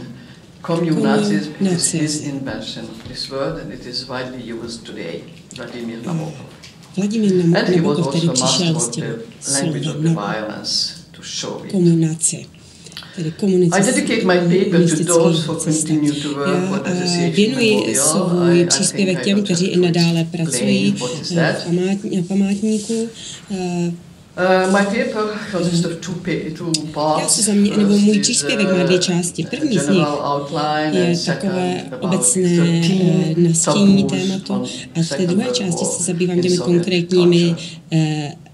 Eh, When I tabuizovanými was at the tématy. university, Když jsem byla Russian já na literature lasted univerzitě, until ruská literatura 1930, trvala zhruba do roku maybe 1930, at the most. možná do roku No one was 2004 willing to maximálně. teach war Nikdo nebyl literature, ochoten válečnou except for some literaturu enthusiastic vyučovat Soviet až na wives. některé nadšené But sovětské still, we manželky. were reluctant Ale stejně jsme se zdráhali eh, It was ruskou a literaturu číst. counter-reaction. Byla to We grew up protireakce. reading naively Vyrůstali jsme heroic na Soviet četbě war naivně literature and we heroické watched sovětské films about literatury, war. válečné literatury Generation a of dívali jsme se na Soviets filmy and o the druhé so-called světové válce.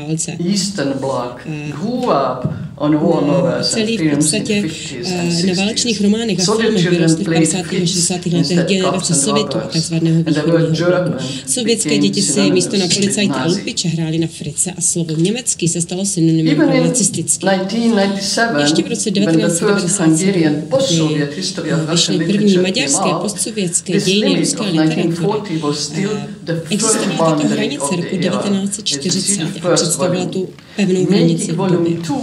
2 commissioned to me, including 100 authors, was no zahrnoval small. 100 We autorů reversed a rozhodně to nebylo nic evaluation of malého. writers. What is a taboo? A co je tedy A tabu? taboo is something we Tabu je know něco, it should be o čem kept víme, silent že by se o about. tom mělo But most mlčet. of the Soviet taboos Ale o people většině did not sovětských even eh, know tabu about, lidé and ani this was nevěděli. often not even A často clear ani what tedy was to nebylo be jisté, kept o quiet. čem by měli mlčet. This is one of the main To je jedna characteristics of terror. You cannot know for what you will be punished and what to fear. trestán a čeho se má In the authorized Russian literature on the Second World War, o druhé světové taboos are marked by empty spaces. They are zero phenomena. To look at what is not in this or that na to, co text is not a very productive approach. a není příliš So we look for those authors who broke the taboos. kteří tato tabu pronemají. Musíme překlenout časovou propast a číst tak, jak četl tehdejší čtenář. Představte si válečný román. That not only který begins nejenže with začíná a retreat, but more ústupem than vojsk, half of it is ale více about než a polovina chaotic je o retreat of chaotickém several months from několika Kharkiv měsíčním to the Volga. ústupu eh, od Where the Charkova military do Volzy. leadership makes Tam, kde vojenské mistakes, vedení dělá ordinary chyby, people are not obyčejní heroes, and lidé even nejsou when they hrdinové. perform heroic A deeds, to i když Caesar vykonají gets eh, Catholic Light in nějaké Stalingrad, hrdinské it is with činy, jako třeba disproportionate obsazení loss, strategické výšiny and Stalingradu. despite Je to s misguided neuměrnými superiors, ztrátami and navzdory with chybujícím irrational lack, luck. And this novel chybujícím Stalin's radio nadřízeným speech a replaced by an atmospheric disturbance rozhlasový projev je v tomto románu nahrazen And in the newsreels, we hear the Allied successes on the Western Front on 7th of November, 7. and listopadu not a word about 1942. the anniversary of the revolution. Ale není tam ani slovo. The reader of that time, attaching special importance to all these nuances, Výročí could see the book as boldly going against official propaganda. Today's reader knihu vnímat jako not jdoucí proti oficiální propagandě. Dnešní čtenář si to možná ani nevšimne. the novel of Mluvím o románu Viktora Někrasova. From Kiev, published in Z Kyjeva, 46 under the title Stalingrad, although its original title was At the End of the World, and later in the trenches of Stalingrad. In English. It had even V more angličtině neutral title, měl ještě Frontline neutrálnější Stalingrad. název. Frontline Not to mention the Stalingrad. Hungarian version without Přední any linie Stalingrad in Stalingradu. it. Nemluvě o in the maďarské title. verzi bez In the jakéhokoliv early Stalingradu. 50s, Nekrasov Bylo to was tedy až v asked 50. to write a letech, kdy separate byl Nekrasov chapter on požádán, aby Stalin. napsal samostatnou kapitolu o While in Stalinovi. 62, he Přičemž was v asked roce to delete 1962 Stalin's name. byl požádán o to, aby vyškrtl He didn't Stalinovo agree, jméno. On s tím nesouhlasil, ani s tím prvním eh, požadavkem místní. Ale samozřejmě bylo to uděláno za něj. Zajímalo by mě, co by po chtěli dnes, aby přidal nebo vypustil. Klíčová otázka tedy z jakého důvodu sovětská kultura a about válce the war? psala Systematization was a continuous Soviet practice, a compulsory feature from the Civil War of od 1920 on. války v roce 1920. Vasily Grossman in Berdichev, his debut story in povídce, ve své 34, debutové povídce had still the center of the plot the Civil War. je 14 tématem i po years later. I will return, I will return to Grossman later. A k Grossmanovi se vrátím But now I only mention that his name was not allowed to appear under his own words pod jeho slovy quoted on the monument of na Mother eh, on na Mamajev matky Kurgano hrdinů height na 102.0. The church in the background was 300 built in 2005. v pozadí byl postaven So please read the quotation. In the 1930s, history played an important role in legitimizing 30. Stalin's personal power. The events of 1970 Stalinovy osobní moci. revolution took a secondary revoluce z roku position in relation to the 1917 history of the Civil War. The Bolsheviks and especially Stalin believed that the Civil War didn't end in the early Stalin se 1920s domnívali, because representatives of hostile počátku classes 20. let continued neskončila, to exist protože inside the uvnitř Sovětského USSR svazu and the nadále struggle existovali against them představitelé continued. Nepřátelských tříd. Boj proti nim pokračoval. O čem svědčí četné případy sabotáží. Nová, nová doba se zachovala militaristickou rétorikou, země žila v nepřátelském prostředí, kdy boj pobíral na frontě industrializace. Na zákově byla implantována fronta socialistické transformace. Jak to nazval Ernst Sinko, 30. léta byla prostoupena syndromem oblažené pevnosti. Sami bráníme jediný socialistický stát na světě, 2008 CTC. In the 19th century, the leading role of the treatment of the revolutionary war was played by the commission of the history of the Civil War. Revoluční epochy komise pro dějiny občanské války vytvořená za osobní účasti podle Stalinova názoru představovalo carské Rusko nekonečný sled vítězství, kde byl tvrdý styl vedení ospravedlněn konečným cílem. Propaganda rychle vzkřísila za zapomnění modly carského impéria, zabývající se vojenskou expanzí jeho území. New heroes were autocratic hrdiny se stali autokratičtí imperátoři, dobyvači generálové, jak ukazují filmy Suvorov z roku 1940 a Kutuzov z roku 1940. V těchto filmech potlačení polského povstání Suvorovou armádu morálně ospravedlňuje rozdělení Polska v září 39 podle tajného sovětsko-německého paktu Molotov-Ribbentrop. Důsledkem tohoto rozdělení bylo území západního Běloruska a západní Ukrajiny začalo začleněna do Sovětského svazu, což znamená, že sovětská armáda v polovině 20. století zajistila stejná vítězství jako carská vojska na konci 18. století.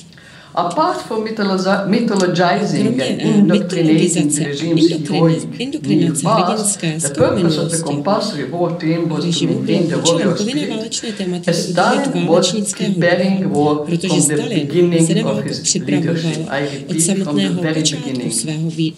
Events leading up to the Second World War, the Finnish War, the annexation of the Baltic states, war of showed that the Soviet Union was preparing to act as an aggressor. Svaz se připravuje no na to jako agresor. Žádné tabuizované téma nemohlo ohrozit obecné zásady pevnosti státu.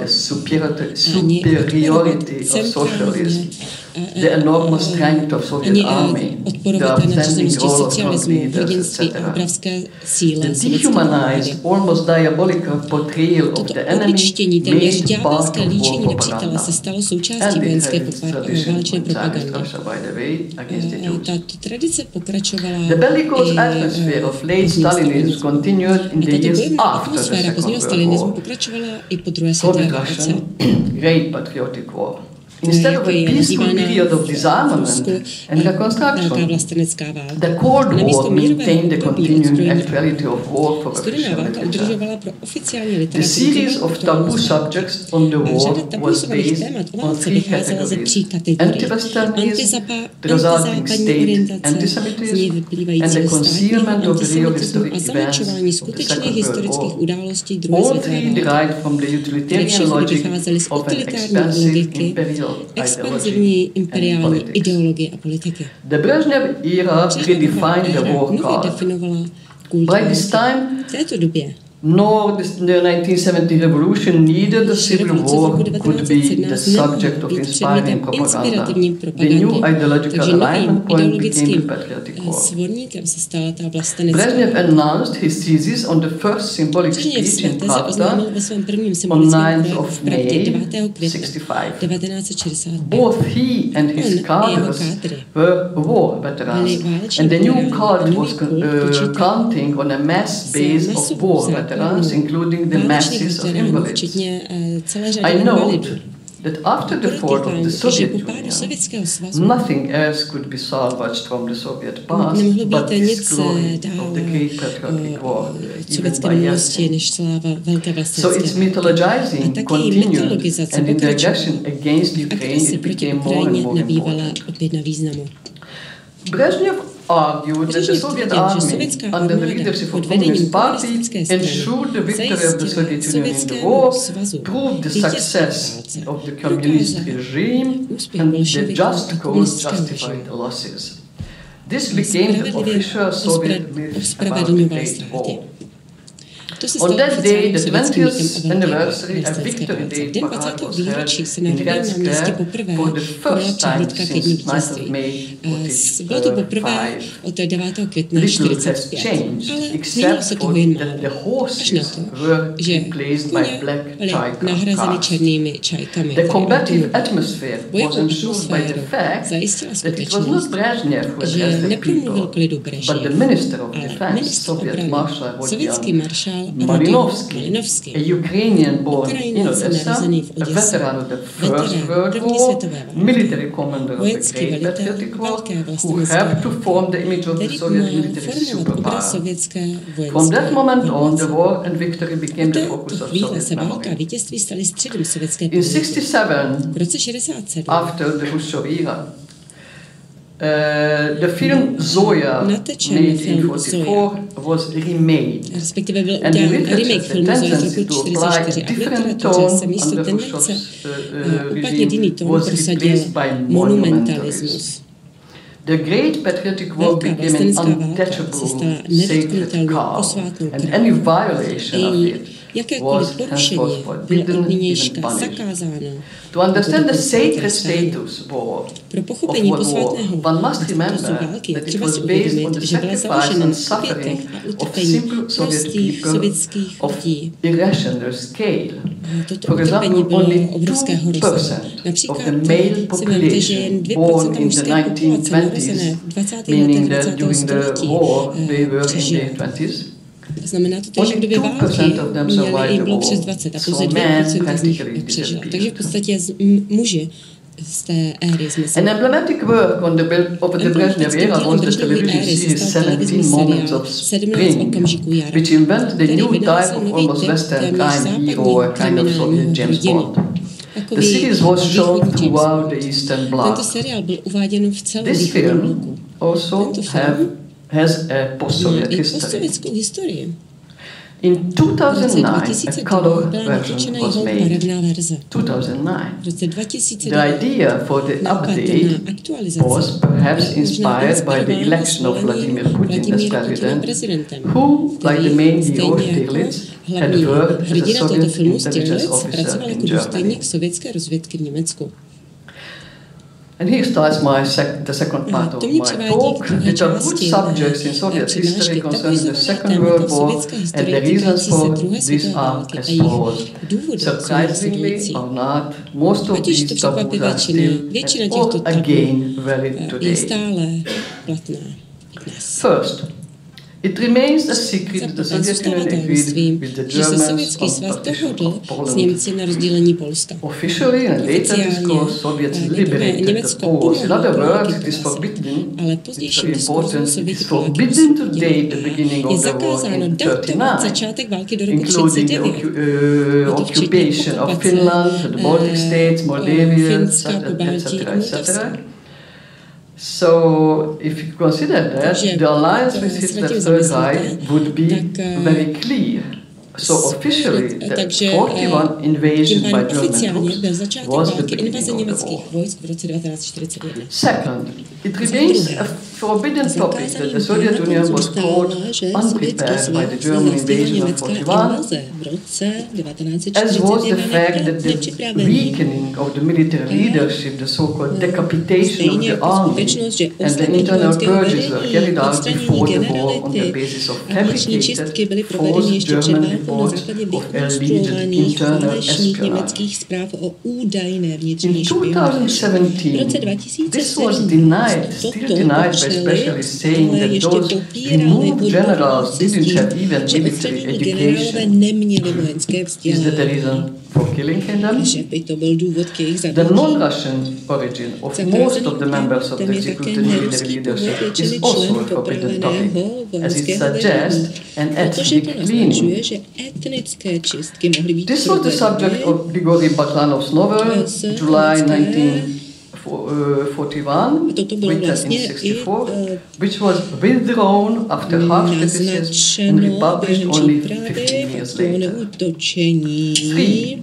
No mention was allowed of the Russian Liberation Army led by General Vlasov, about which Georgy Vladimov, who emigrated in 1983, wrote a novel in 1995. The General and his army.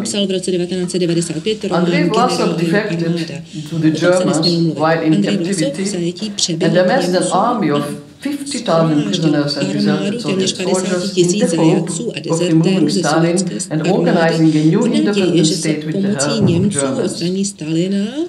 It was a further surrender by the Vlasovists that the Germans were repulsed under Prague and the city escaped relatively unscathed. We'll know more about that, I'm sure. Ale budete vědět určitě více vy o tom. Four. A big taboo is that mass extermination of Jewish of Jews took place in the invaded territories by Nazi forces, aided by locally organized Soviet citizens, also volunteers. The failure to come to terms with this trauma made it possible today to, for Putin to project the past onto the present and blame Ukrainians as Nazis. Vlastně For historical reasons, the second largest population of Jews on, uh, in the time of the Second World War lived on the occupied territories on the west side, uh, which explains the high number of victims. Uh, unlike the Jewish victims in Europe, they were not sent to concentration camps, but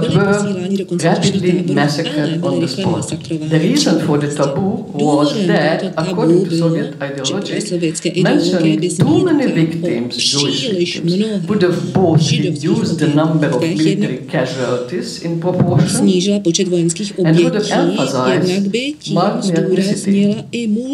Even in 2005, President Putin commemorated 27 million Soviet victims on the anniversary of the liberation of Auschwitz concentration camp. Although several camps were liberated by Soviet troops, there is still no Holocaust Memorial Day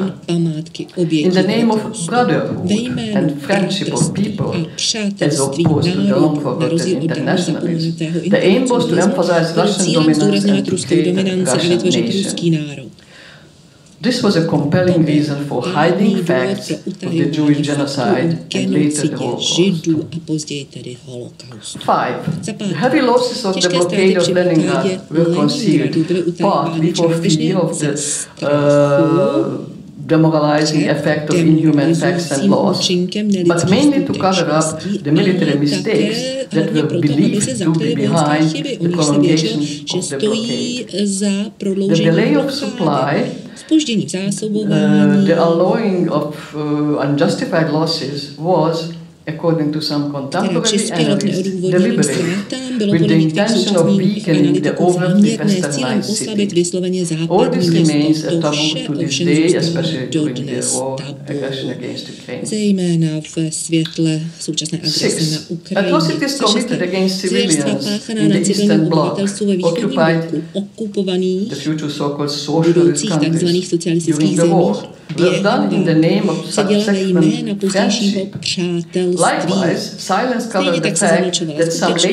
subsequent friendship. Likewise, silence covered the fact that some later socialist countries once fought as Germans allies against the Soviets, and that they soldiers killed Soviet civilians. I skip here the, how the punishing uh, the,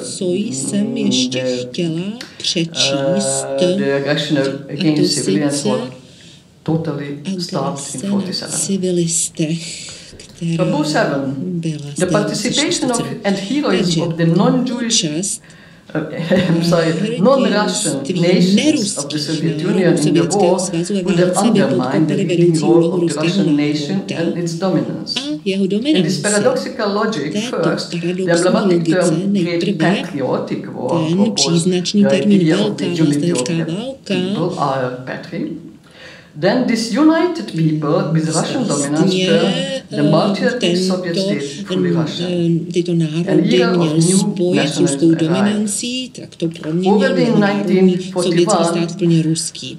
Uh, Stalin's rhetoric included the phrases our great ancestors of all of us, Adam and Eve or who? Adam a Eva, and the slogans My brothers and sisters now recurring in Putin's speeches. In his 1945 toast, Stalin said that he was drinking above all to the health of the Russian people are the most outstanding of the that made up the Soviet Union.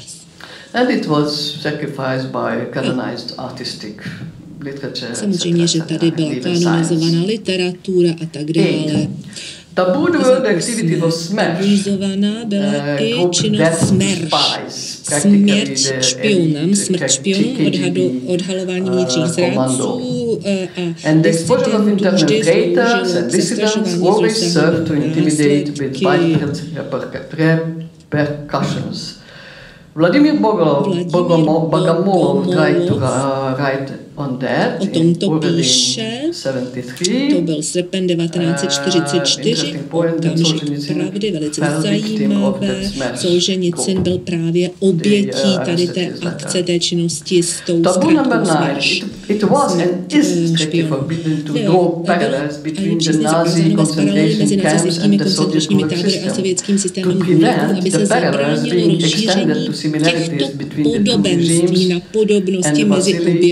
to prevent the parallels being extended to similarities between the two regimes and Vasily Grossman to však udělal a já bych si považovala, kdybych o tom mohla dát, nebylo zveřejněno, že benzín pro německé střelkové bomby, gardéry a obrněná vozidla.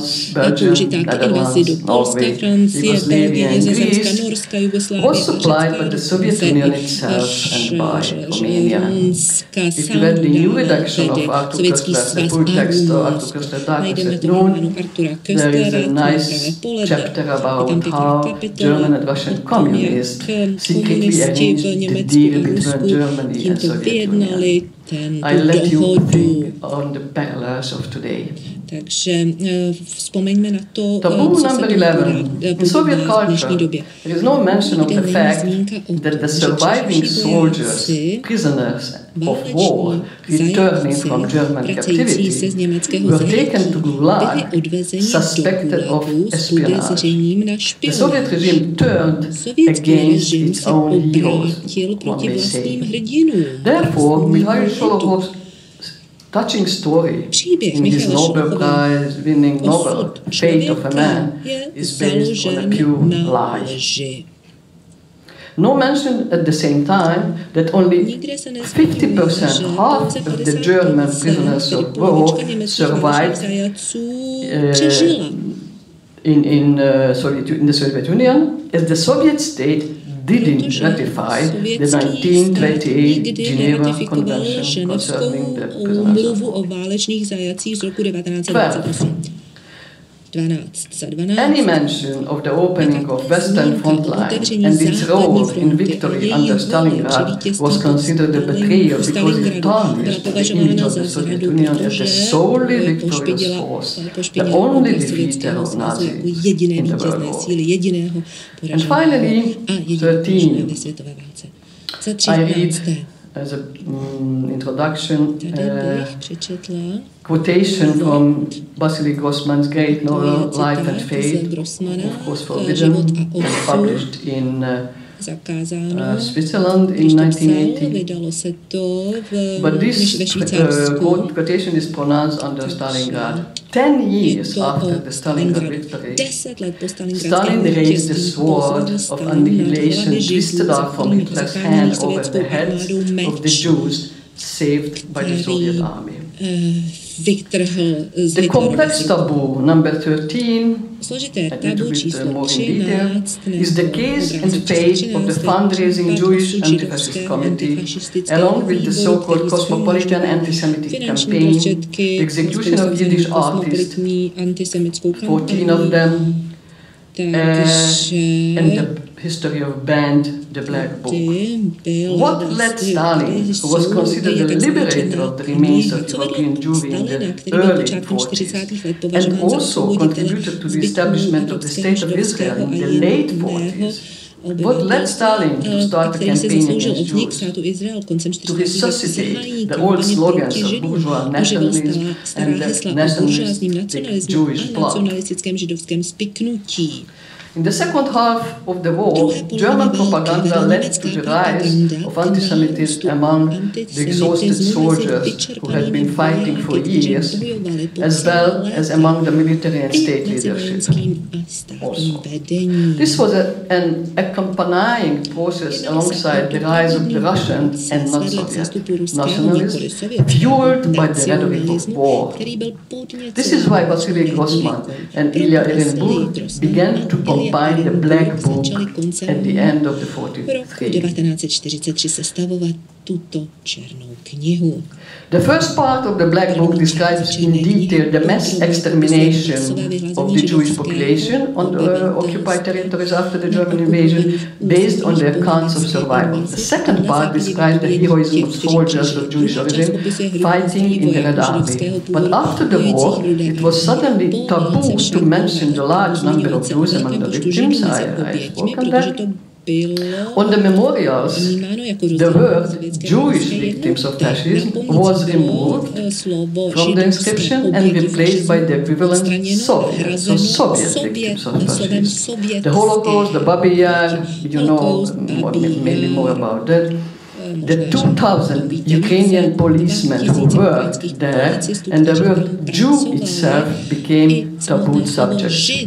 A collective amnesia covered the Soviet citizens, policies, policemen collaborating with the Germans were a sort of Soviet Nazis. The heroism of Jews on the battlefields were rarely mentioned. They were said to be cowards who stayed away from the fighting. And this is the way how Solzhenitsyn describes the Jewish figure of Cesar Markovich in One Day of Ivan Denisovich. I'm not sure I didn't notice it when I first read this novel. And that now I see very clearly the hierarchy of the nationalities in, in One Day of Ivan Denisovich. The Russian is at the top, other Slavic heroes are more or less acceptable, and the rest is silence. In certain professions and institutions of higher education, Jewish numerus clausus was introduced as early in 44. The Zhdanov cultural policy, which was extended to all the arts, was a continuation of this nationalist discourse during the war, and it main, uh, its main slogans became ruthless cosmopolitan, bowing to the West, and traitor. From 1946, members of the Jewish Anti-Fascist Committee were also involved in the work on Black Book. They had worked effectively for the Soviet Union during the war. The Soviets liked the idea of using the Jewish victims of the war as a means of raising funds from the world Jewish community, particularly in the United States. Negotiations were held around the world to obtain aid to continue the war, and after Einstein, whom belongs, according to new research, whom belongs the idea to create the Black Book. So after, after Einstein, they met Thomas Mann, Isaac Weizmann, Charlie Chaplin, Marc Chagall, and Paul Robeson. After the war, their official visit to the US became a pretext for the accusation of being Zionist, which plans to organize a nationalistic Jewish plot, and they were accused of being spies for the West. As today again, Western connections were meant as part of the Jewish cosmopolitan. Grossman and Ehrenburg persisted in their work with the conviction that they would report on 5 billion people exterminated, Jews, in the Black Book. Uh, there is a long story of the publishing I will skip because I, I, I feel that the time but I, I am finishing. In the campaign, euphemistically dubbed as anti-cosmopolitanism, a hostile signal to the establishment of the initially welcome state of Israel the time, the members of the Jewish Anti-Fascist Committee began to be arrested in early 49 but the case was not publicly tried finally because the focus shifted to the statement published on the 13th of January 49, preparing the trial of the also Jewish so-called doctor's plot The Jewish artists arrested in 48-49 were secretly executed on 20th August 1952. It was the night of the murdered poets. They exiled families were only informed in November 1955 when they were rehabilitated. The interrogation transcripts came to light 40 years later when the aged children could read, if they were able, the nonsense confessed by their tortured parents. But the xenophobic mood has not disappeared. The plaques were removed from Moscow houses in the spring of 2023, this year.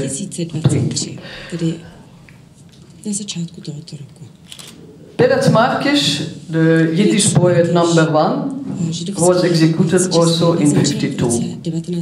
I was born in 1954. Peretz Markish never knew that I would be his daughter-in-law. His son became my husband. Thank you. Thank you, Zsuzsa. Please, uh, Marco, Marco, she sent before Marco starts, I would like to invite you to a small party uh, that's part of our conference in Vinohradský pivovar when we finish intervention. Vinohradský pivovar this, this place. So Marco Martin is German writer a teď tedy Marko Martin. Marko Martin je německý spisovatel a publicista. World, uh, and in May uh, 2022 he was one of the first signatories of an open letter to the Prime Minister Scholz, ministerskému předsedu premiéru Scholzovi, němž žádal o vojenskou podporu Ukrajiny. So Marco's uh, intervention is entitled Alice, Alice Riele Gerstl, Friedrich Torberg, How 20th Century Jewish German Writers Describe Prague as a Field in the fight against the Alice Rühle-Gerstel, Friedrich Torberg a jiní. Jak židovští německy píšící spisovatel 20. století popisovali Prahu jako pole boji proti totalitarismu a končinu Děkuji. Uh, děkuji. Text and presentation. I remember when uh, I was a kid in East Germany, we had to read uh, Sholokhov, mm. and uh, we misunderstood it. We thought, okay, it's far mm. from being this heroic Soviet narrative, but as we know now, it was based on a lie anyway. And when you mentioned uh, Viktor Nekrasov, uh, quite funny during the lunch break, I went to this wonderful uh, second bookstore on the other side of the bridge, and then I saw uh, the German edition of uh, Viktor Nekrasov's book uh, on both sides of the wall, uh, written in uh, his French exile, when he described uh, all the changes he made to make, he had to make on the Stalin uh, novel. So, v té Stalinově, v tom, v tom stalinovském románu, když jsme zde procházeli ty změny, které musely být oproti realitě. Učiněny. Dobrý den, dámy a pánové, je mi potěšením, že jste Přestože nejsem historik, tak ani nejsem literární vědec, ale co by autor. A také čtenář. Některé, některé mé povídky se But when I dare to steal now 20 minutes of your lifetime in order to speak about three 20 years novels taking place here in Prague too, it's certainly not because of literary snobbery. tak to není vůli literárního As a writer, I believe that we have the privilege to stand on the shoulders věřím, že of máme all the generations before us. And as a citizen, I'm convinced that some of the so-called old books can still enlighten some important aspects of the present time. Of course, not by providing solutions, but by destroying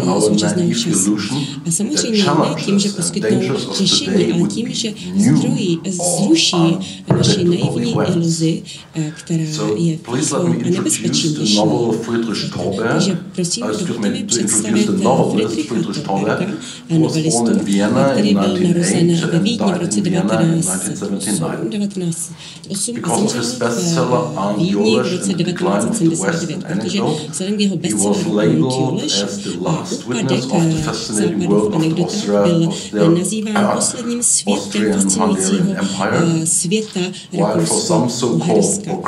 I když pro některé progresivní novináře je skvělým příkladem But let's put aside these judgments and let's have a look on the life and the work of this author who spent this, his youth in the 20s and 30s of the 20th century here in Prague.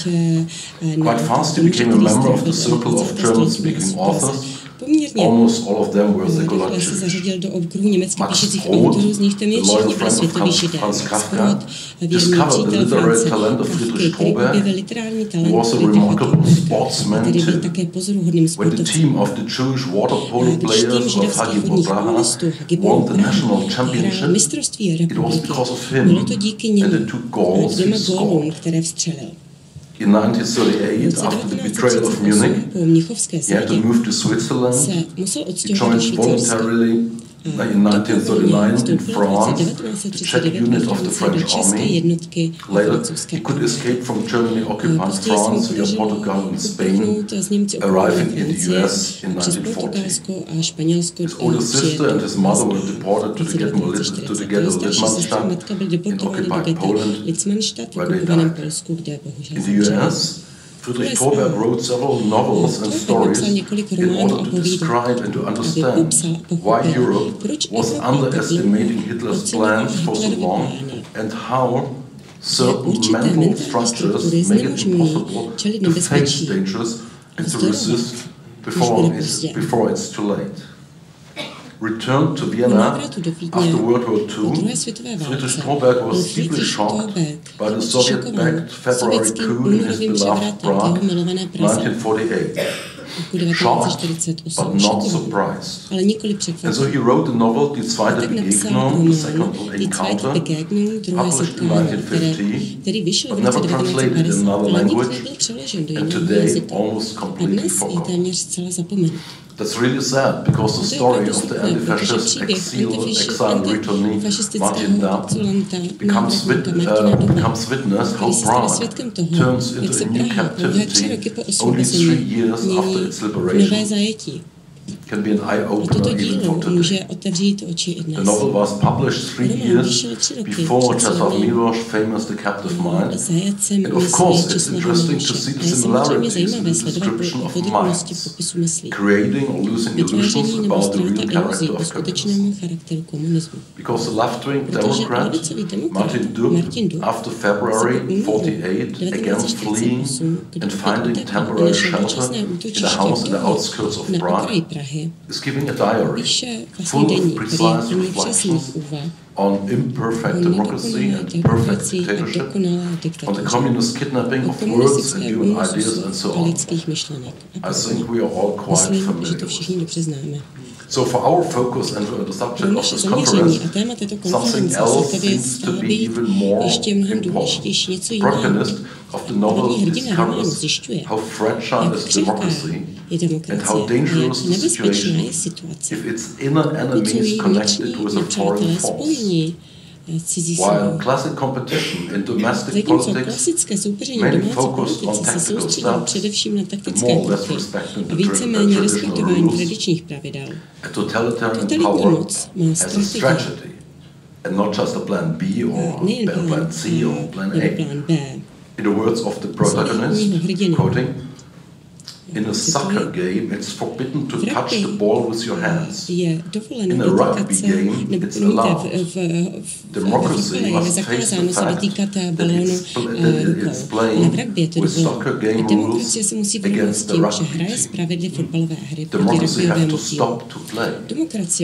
And democracy have to realize it before the game is started.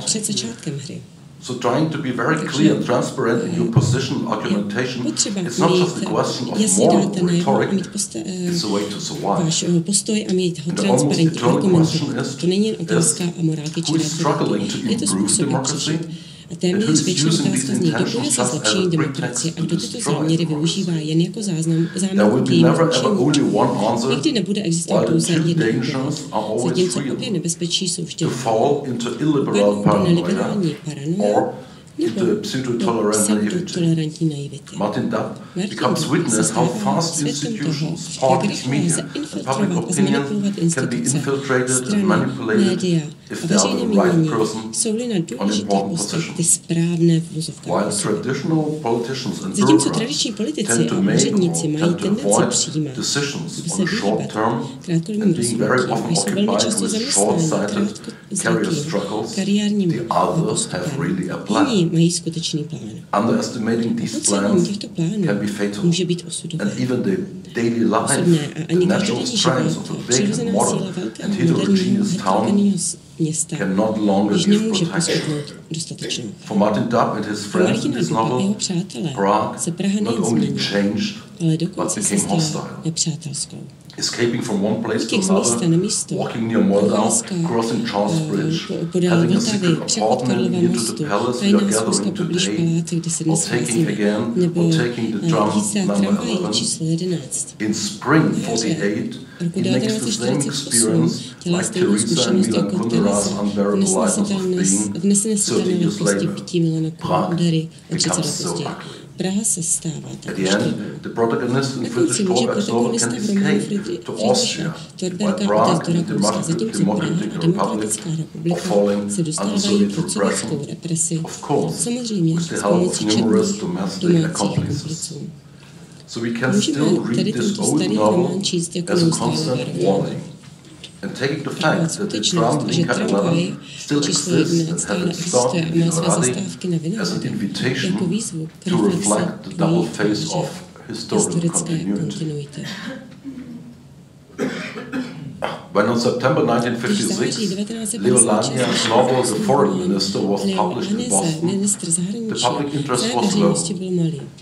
Veřejnosti byl malý. But when one month later Russian tanks invaded, invaded Budapest, eh, the vojska vpadly do American audience was suddenly interested to read this novel tento román o on life and death of Jan Masaryk, son of the founder of the Czech of Czechoslovakia protože zakladateli Československa poslední nekomunistického ministra zahraničí před po převratu v roce 1948.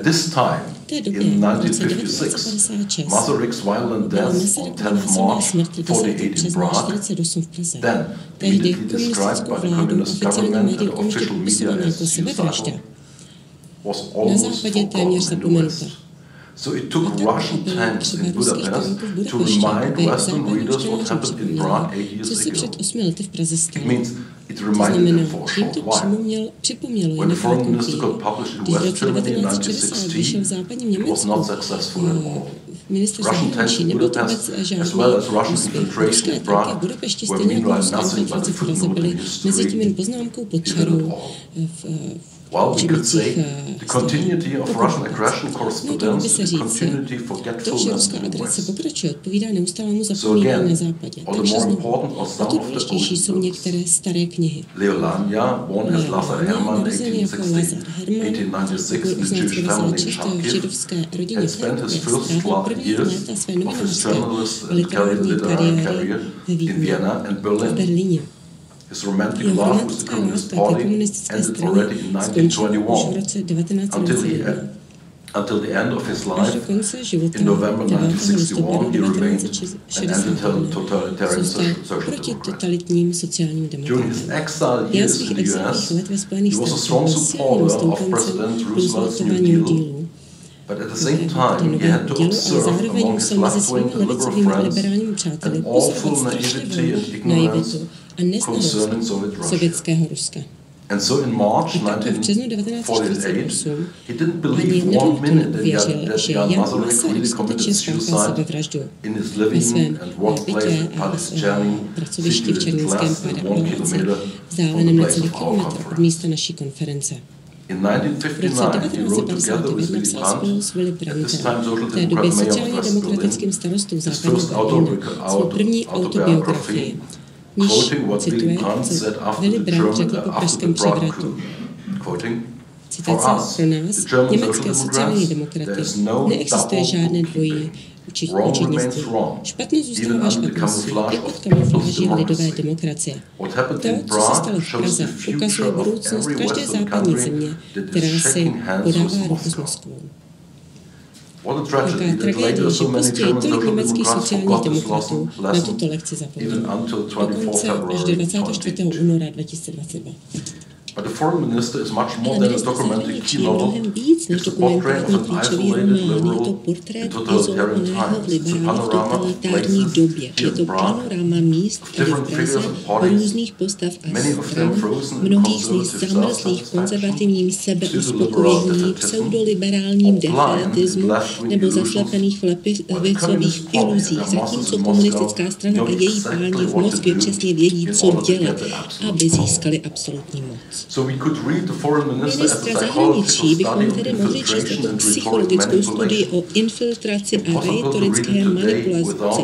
Nelze ji dnes číst, aniž bychom neobjevili paralely se současnou situací, protože soudruh Ivanov, sovětský velvyslanec v Praze, popisovaný jako mašinérie na dálkové ovládání jedná a mluví jako Sergej Lavrov dnes. Všichni se snažíme, abychom se dostali do situace, v níž se ocitli a v níž jsme se ocitli, abychom se dostali do situace.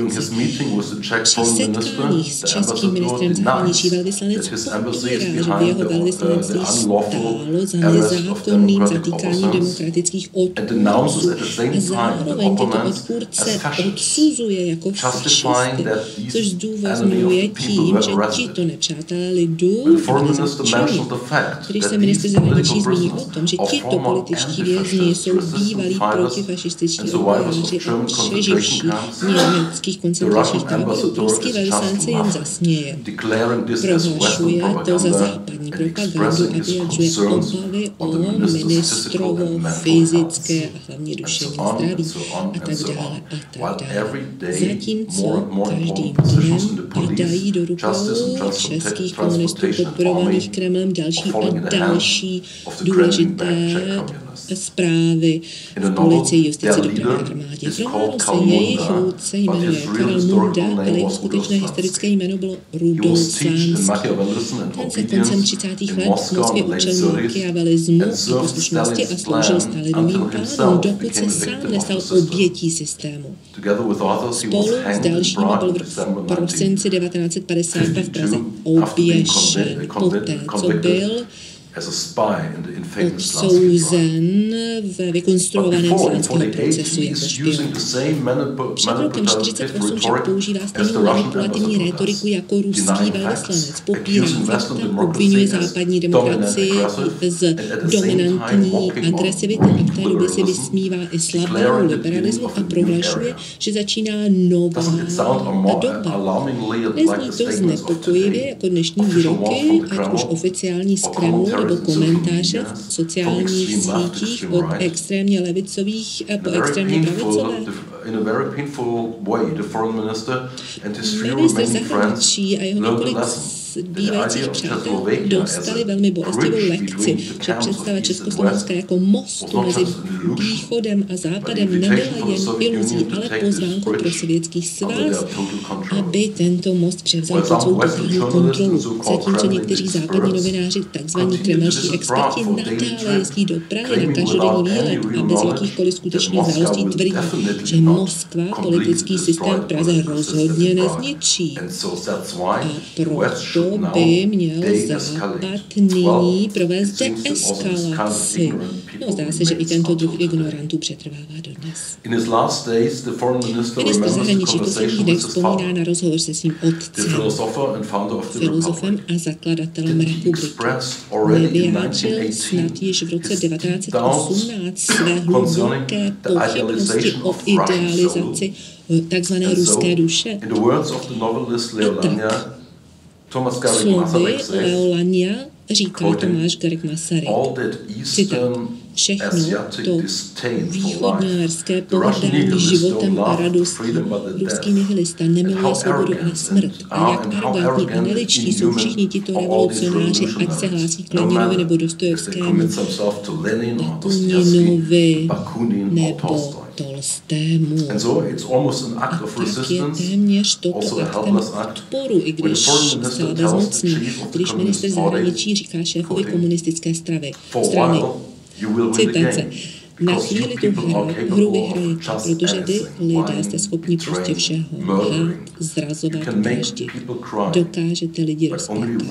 Ale jen my jsme schopni se smát sami sobě.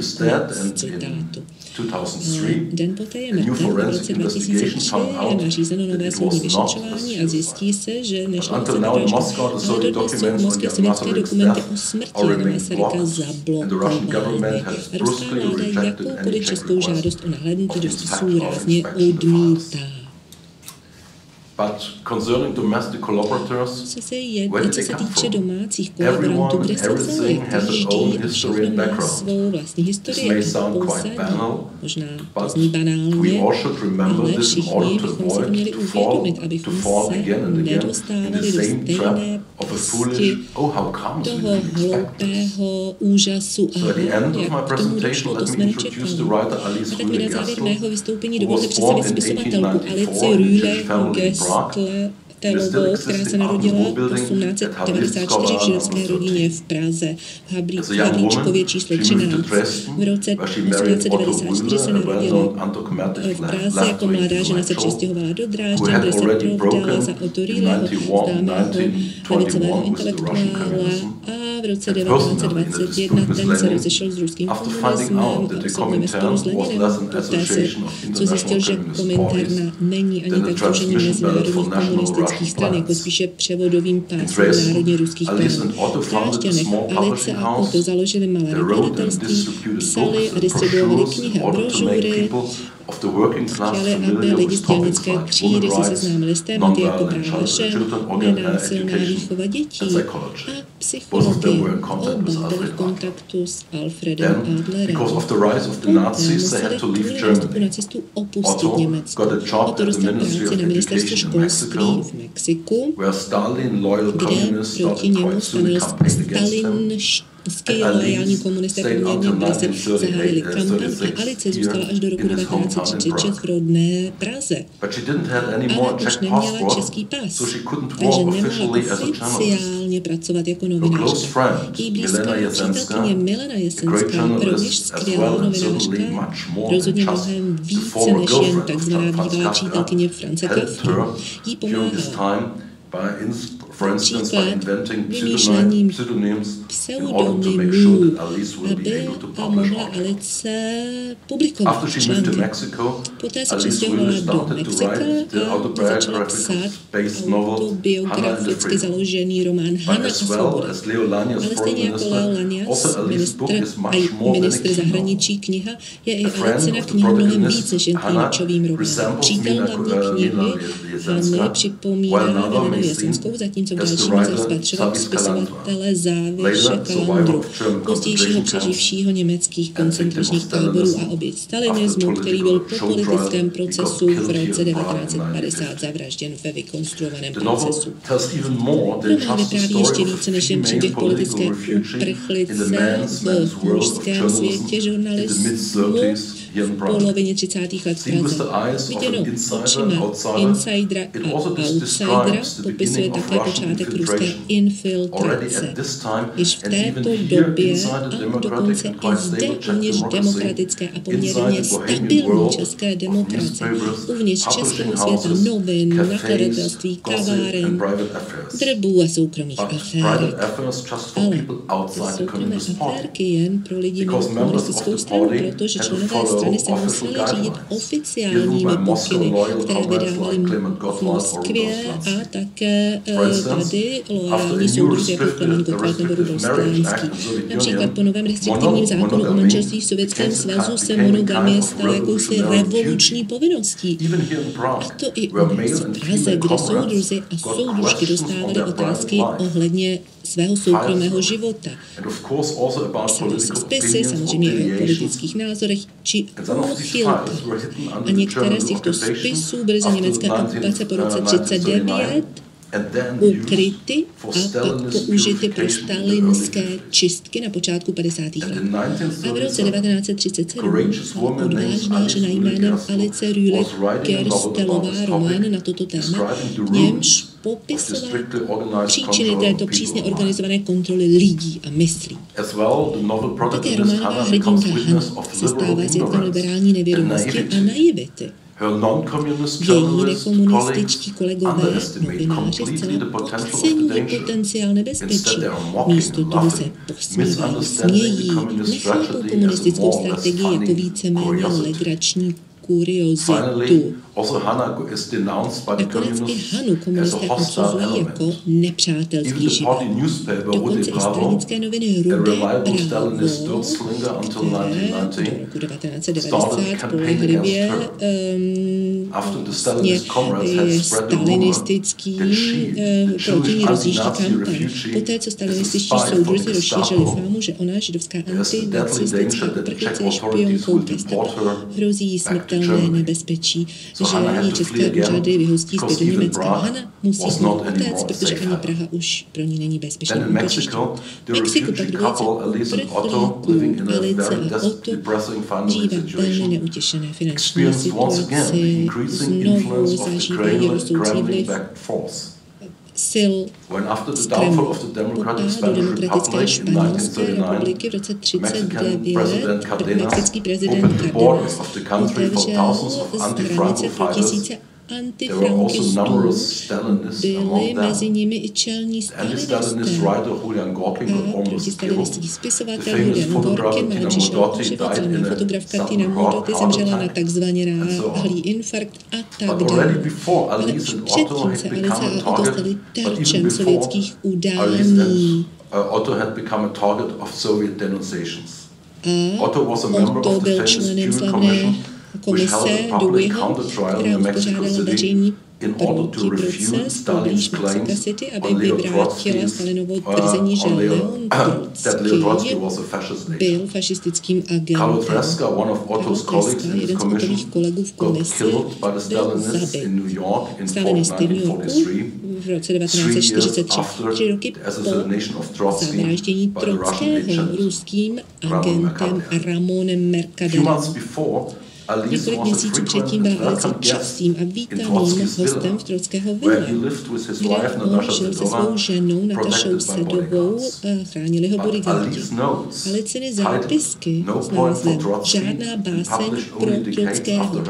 Vydané až po několik desetiletí po její smrti však nejsou vůbec hagiografické. Ano, je ohromená kvůli trotskému obrovskému uh, přehledu uh, hist, ohledně historie, kvůli jeho dokonalým způsobům mluví francouzsky, německy, ale má pochybnosti. A pochybnosti nejsou ve slově komunismus vítány. Ani v malém prostoru mexické vily, včetně azylu nejslavnějšího Stalinova nepřítele. Když Lev Davidovič požádal Alici, aby napsala báseň o této čtvrté internacionále, Alice odpovídá jako Bartleby v příbězích Hermana Melvilla. Raději bych to nedělala.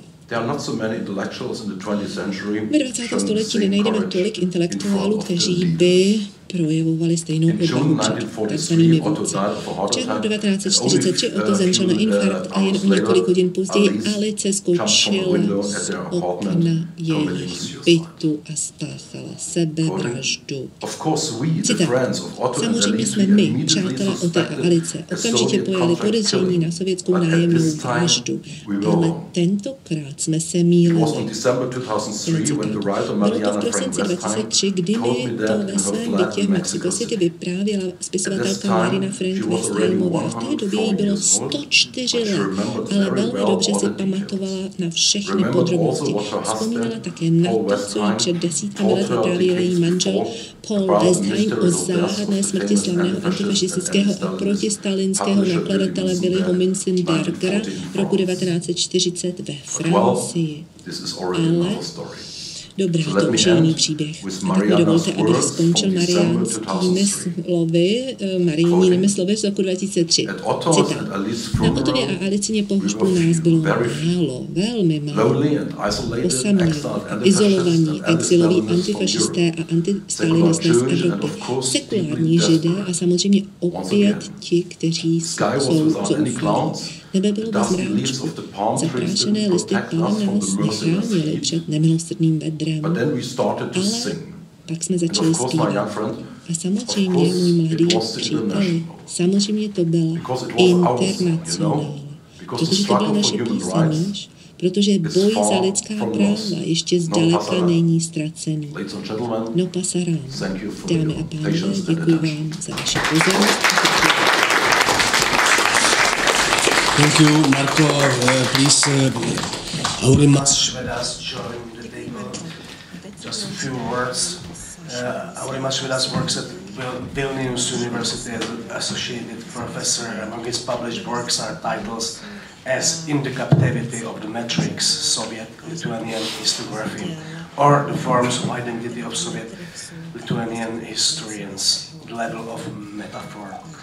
So, uh, the title of uh, Aurimas lecture is Nikita Mikhalkov's film 12 as a handbook of Putinism.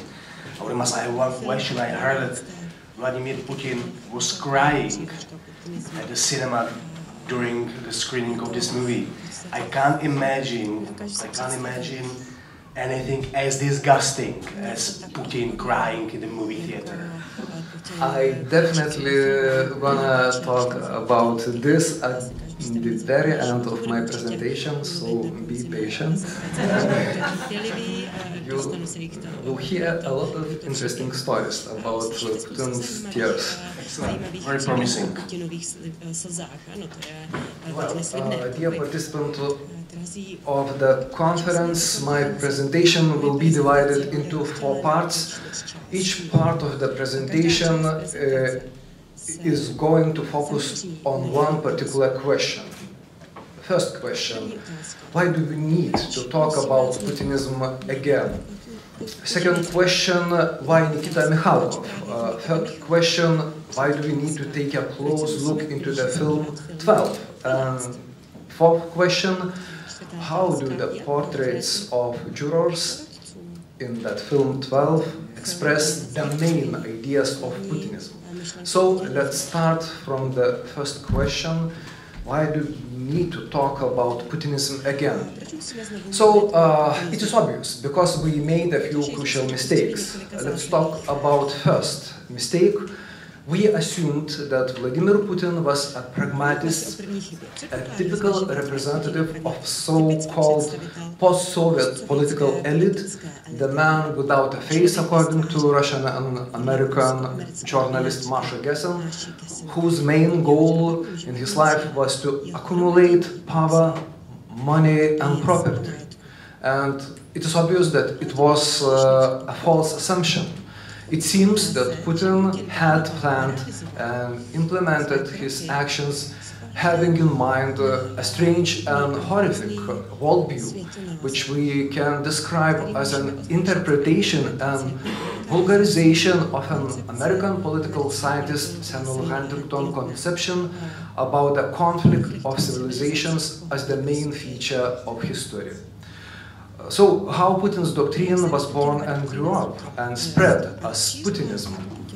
Uh, we don't have an opportunity to, to, to, talk about such important parts of Putin's uh, doctrine, uh, which played the role of the intellectual background of Putinism as the post-imperial resentment, restorative nostalgia for Soviet times, particular postulates of Soviet historiography, the set of ideas taken from Berdyaev, Solovyov, Ilyin text, uh, of course, about the cult of Chekism and strange appeals to preserve so-called conservative values. I'm going to say only a few words about the concept of the sovereign democracy. Uh, this term was coined by Vladislav Surkov, and this term captures the logic and the mechanism of the reproduction of power and the way democratic institutions are used and misused to preserve the monopoly of power.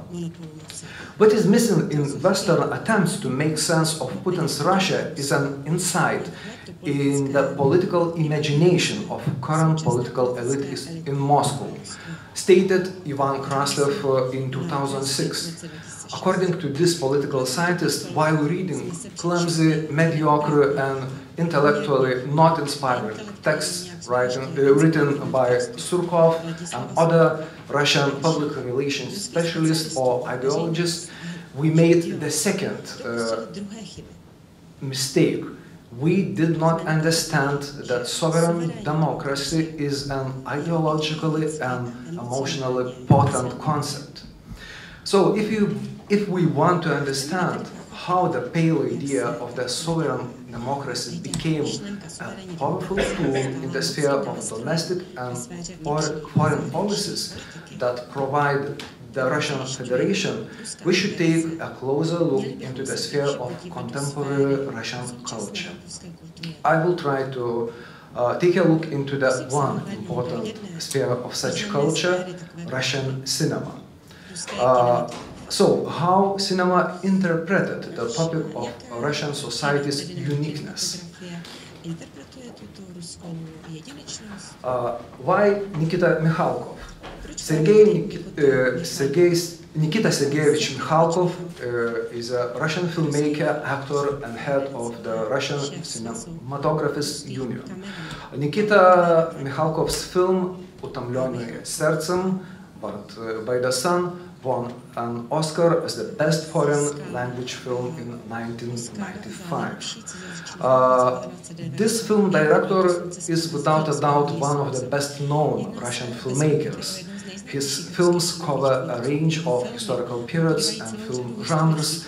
Uh, Kharkov's career stretches from Khrushchev's store uh, through the Brezhnev's years of stagnation to Gorbachev's perestroika and to Soviet, uh, post-Soviet period. The fact that Mikhalkov never had problems with censorship, at least none of these films was banned, was often attributed to his highly privileged Soviet family background.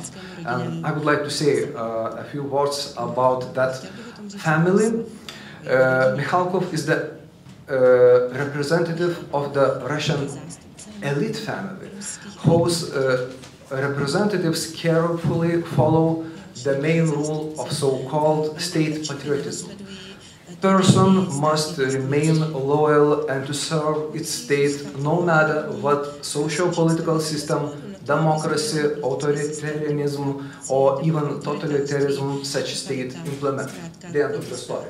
So, uh, no matter uh, what your parents or grandparents were, uh, monarchists, communists, or even KGB officers. There is only one relevant question. Did they sincerely serve uh, the political elite, help, helping to strengthen Russia and to fight Russia's internal and external enemies? A skilled manipulator, an active player in the public arena, and an artist who likes cast, uh, to cast himself in role of power, quickly understood that the epoch of Vladimir Putin opened for him immense opportunities. Uh, so, Nikita Mikhalkov in Putin found a new hero, role model, and a patron. Meanwhile, Putin in Mikhalkov found its loyal supporter, chronicle, and exalter. The harsh critics of Mikhalkov's activities in the 21st century evaluated his latest films as uh, the start of the quotation, an adequate aesthetic expression of Vladimir Putin's epoch. Meanwhile, the supporters named uh, uh, meanwhile uh, the supporters of Vladimir Putin named Mikhalkov the Russian Wagner. And what does Mikhalkov say about himself? The film director states modestly that he knows the answers about the most essential questions of Russian existence. Uh, some of the answers about Russian existence Mikhalkov gave in his 10,000 uh, word political manifesto titled Right and True, which was published and presented to the Russian government in 2010. The main theme of the manifesto was that Russia needs a strong leader who will guide the country along its special path to become prosperous and powerful. What type of government and civil society does uh, uh, or society does view as uh, an ideal for Russia to become a geopolitical and spiritual center of the world? uh, Russia needs to follow its own unique blend of enlightened conservatism. So, what kind of Russia's special path does Nikita Mikhalkov show in his film 12? Uh, why do we need to take a close look at this particular film? Uh, I'm gonna uh, say a few words about this film, but uh, first of all, I would like to mention that Mikhalkov does not separate film from reality, filmmaking from politics, or myth from history. Such a formula was used during the filmmaking process of uh, Mikhalkov's movie 12. So, uh, the starting point uh, for Mikhalkov's uh, for Mikhalkov was of course, you all know that film 12 Angry Men. Uh, 1957 American legal drama uh, film directed by well-known uh, film director Sidney Lumet. The film tells the story of a jury of white 12 men as they deliberate the conviction or acquittal of a Puerto Rican teenager charged with murder based on reasonable doubt. 12 Angry Men is regarded by many critics in the whole world as one of the greatest films ever made or the most radical courtroom drama in cinema history and as a saga of epic proportions. According to American film critic Roger Ebert, legendary uh, film critic Roger Ebert, 12 Angry Men remains a monument of American filmmaking. And more than 50 years after it, it was made, its story is still powerful enough to inspire a new version of the story which was told by Nikita Mikhalkov. At first sight, Mikhalkov did not invent a bicycle. The story is well known. A 12-man jury decides whether a young Chechen boy is guilty of the murder of his stepfather, a Russian military officer. So the jury is sequestered in the sport hall of a school next to the courtroom. The men are tired and impatient to go home. It is assumed that the defendant a young boy accused of murder is guilty. A quick vote is called for. It seems that the result of this vote is predictable. But the balloting shows suddenly 11 fought convincing and one against. This generated, this situation generated a long and dogged debate, which camera carefully follows. So, on the one hand, Mikhalkov used the same narrative scheme as Sidney Lumet, which is why the audience knew uh, before the entering uh, cinema what the story was about, how it would progress, and how it would end. On the other hand, Mikhalkov has made a new film with its original characters and stories. One by one, member of the jury tells a story or a secret which we can evaluate as an important piece of the whole picture. This picture reveals a contemporary a portrait of contemporary Russian society looking for a strong leader who probably will guide the country along its special path. So, uh, the film 12 repeats the same scheme uh, of the narrative which was invented, created by, or adapted uh, by Sidney Lumet. Uh, Lumet did not uh, write the scenario, and at the same time proposed new important ideas. Create um, artistic version of the Putinism. So, how do the portraits of jurors express the main ideas of Putinism. First of all, it is uh, really important to know uh, to note that the casting of the film 12 was simply outstanding. Uh, Nikita Mikhalkov gathered an exclusive uh, group of actors, the cream of the cream. Uh, all of them are the real masters and the big stars in Russian cinema. Uh, so let's take a look at the concrete portraits of the jurors. Let's start from the first juror, an idealist, uh, actor Sergei Makovetsky.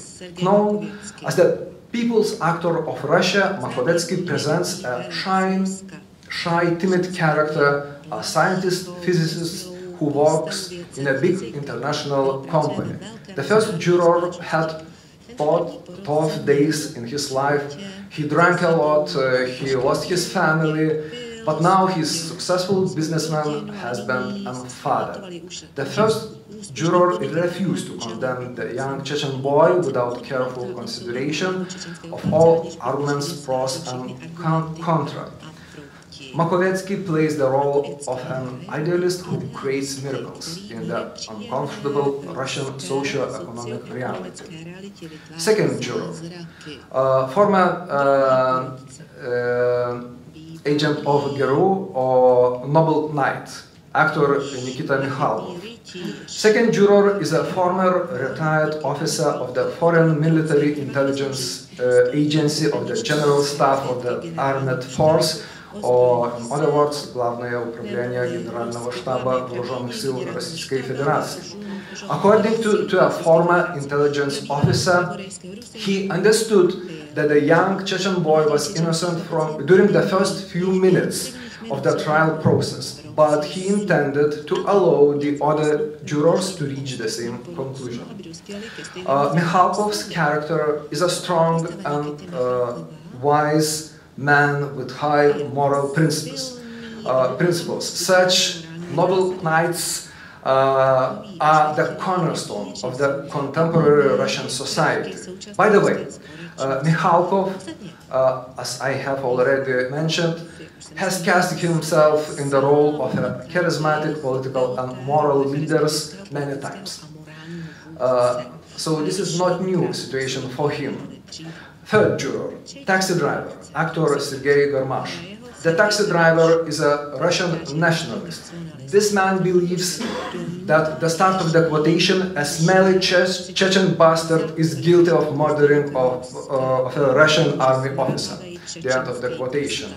That is why the taxi driver wants uh, the start of the quotation to lock down this guy for the rest of his life and to go home to have beer.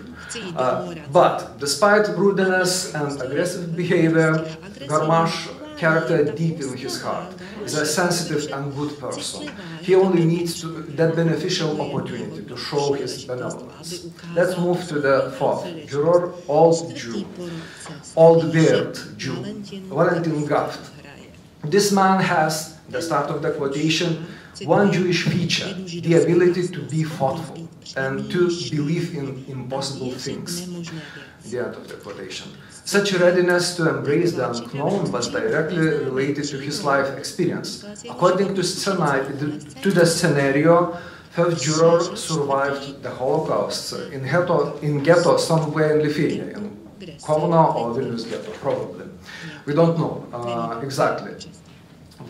Gaft's character's father, the prisoner of the ghetto, fell in love with the Lithuanian officer's unit wife. Uh, this officer, according to the scenario, served uh, in, the, in the SS unit.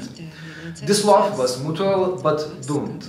Uh, luckily, the Soviet army came to Lithuania Can you imagine what would be the fate of the lovers if not the Soviet soldiers' uh, victory, asked all Jew other participants of the jury trial. So, in my opinion, uh, this character shows anthropologically the other, uh, who is not completely integrated into the Russian society, but uh, it, uh, for him is allowed to exist somehow. Uh, in that uh, society. Let's move to the fifth. Juror pensioner, Alexei Petrenko. Alexei Petrenko plays the comic character, the old man who is completely lost in time and space.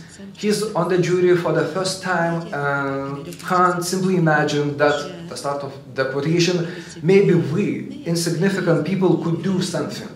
Uh, by the way, this old pensioner is visually similar to the Belarusian President Alexander Lukashenko and even say a few words uh, in Belarusian language uh, during the uh, whole film. Uh, the sixth juror, bad oligarch, Yuri Stoyanov. A bad oligarch is a media tycoon. This alumnus of Harvard is not interested in the truth, of course. The main important thing for him is a shocking plot, which cost a lot of money. He changed his attitude many times during, during the jury trial. Second, uh, juror surgeon, Sergei Gazarov. The surgeon is an Arme Armenian who lives in Russia. He earns good money and does not care about the truth.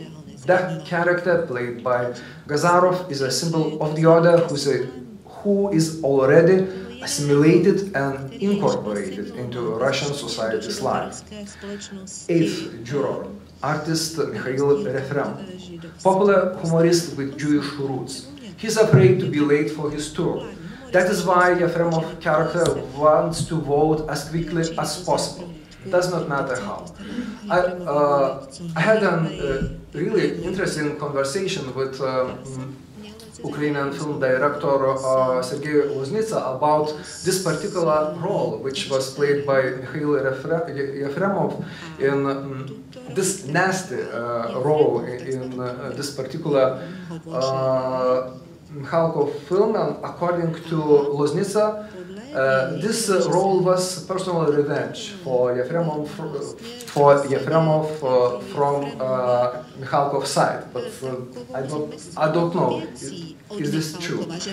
So the artist is a morally bankrupt personality. Uh, the ninth, ninth juror, good oligarch, Alexei Gorbunov the owner of a private cemetery acquired crossover, uh, crossword solver. For the first time, he joins the discussion with the words, the start of the quotation. A Russian will never live according to the law because he is bored. The law is dead because there is nothing human and personal in it.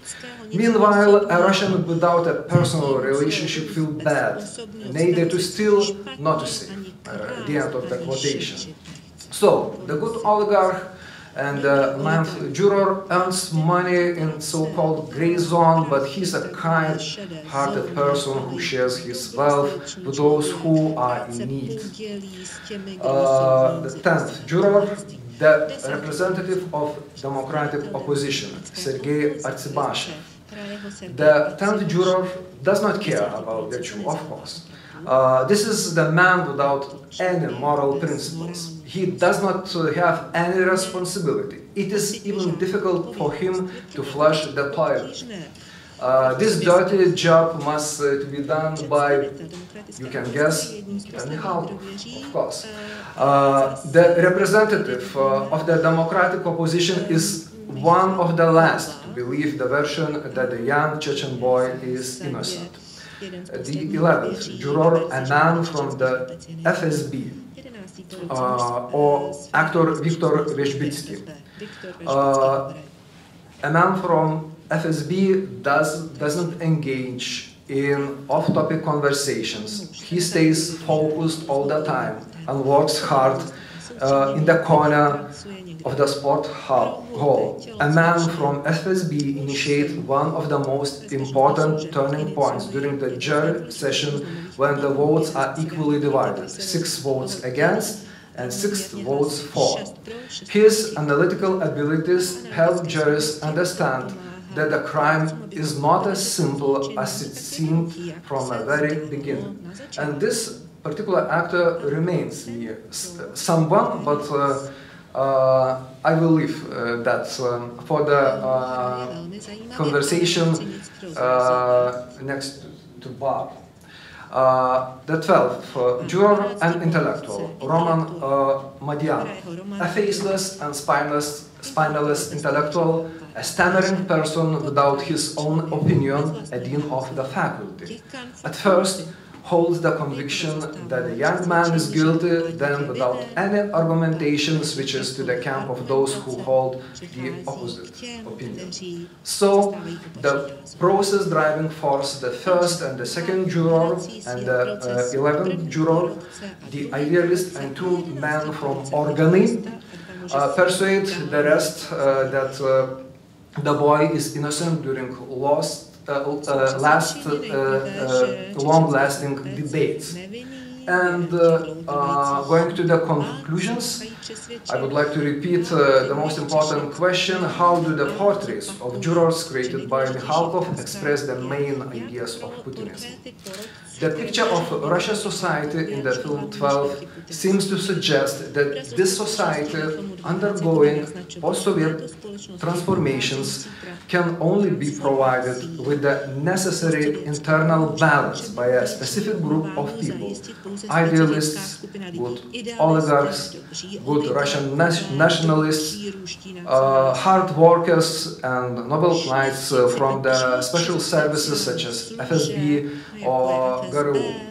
only joint efforts of that part of society could neutralize the destructive processes that were started by bad oligarchs, the representative of so-called Demshiza, morally rotten intellectuals, artists and other scum.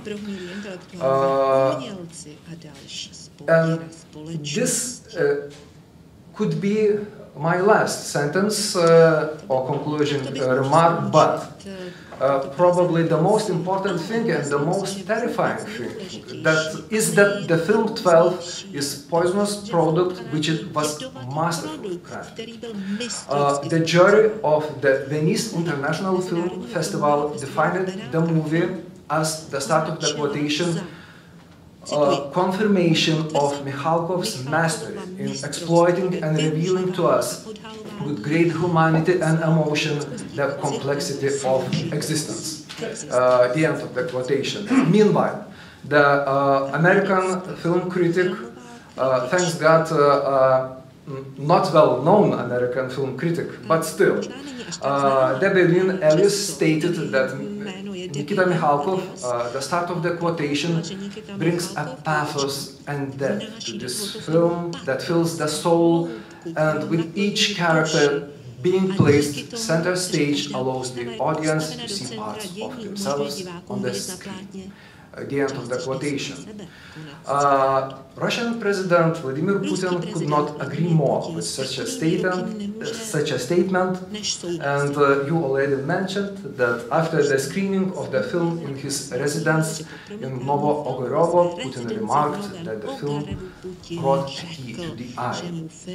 So, it seems that we need to do a lot of work trying to understand how Russian culture helped to prepare contemporary Russian society for the rise of totalitarianism totalitarianism and for the war against, uh, uh, against Ukraine and against the whole European civilization. Thank you for your attention. Thank you very much. Please now uh, Heinrich Kirschbaum. Heinrich is German Slavic scholar. Heinrich Kirschbaum. Thank you. This photo uh, shows a poem. A poem by uh, Nobel laureate Iosif Brodsky, The photo itself is from August of this year. There are flowers all around. There are flowers and poems on the fresh grave of Evgeny Prigozhin, head of the Wagner Group. Okay.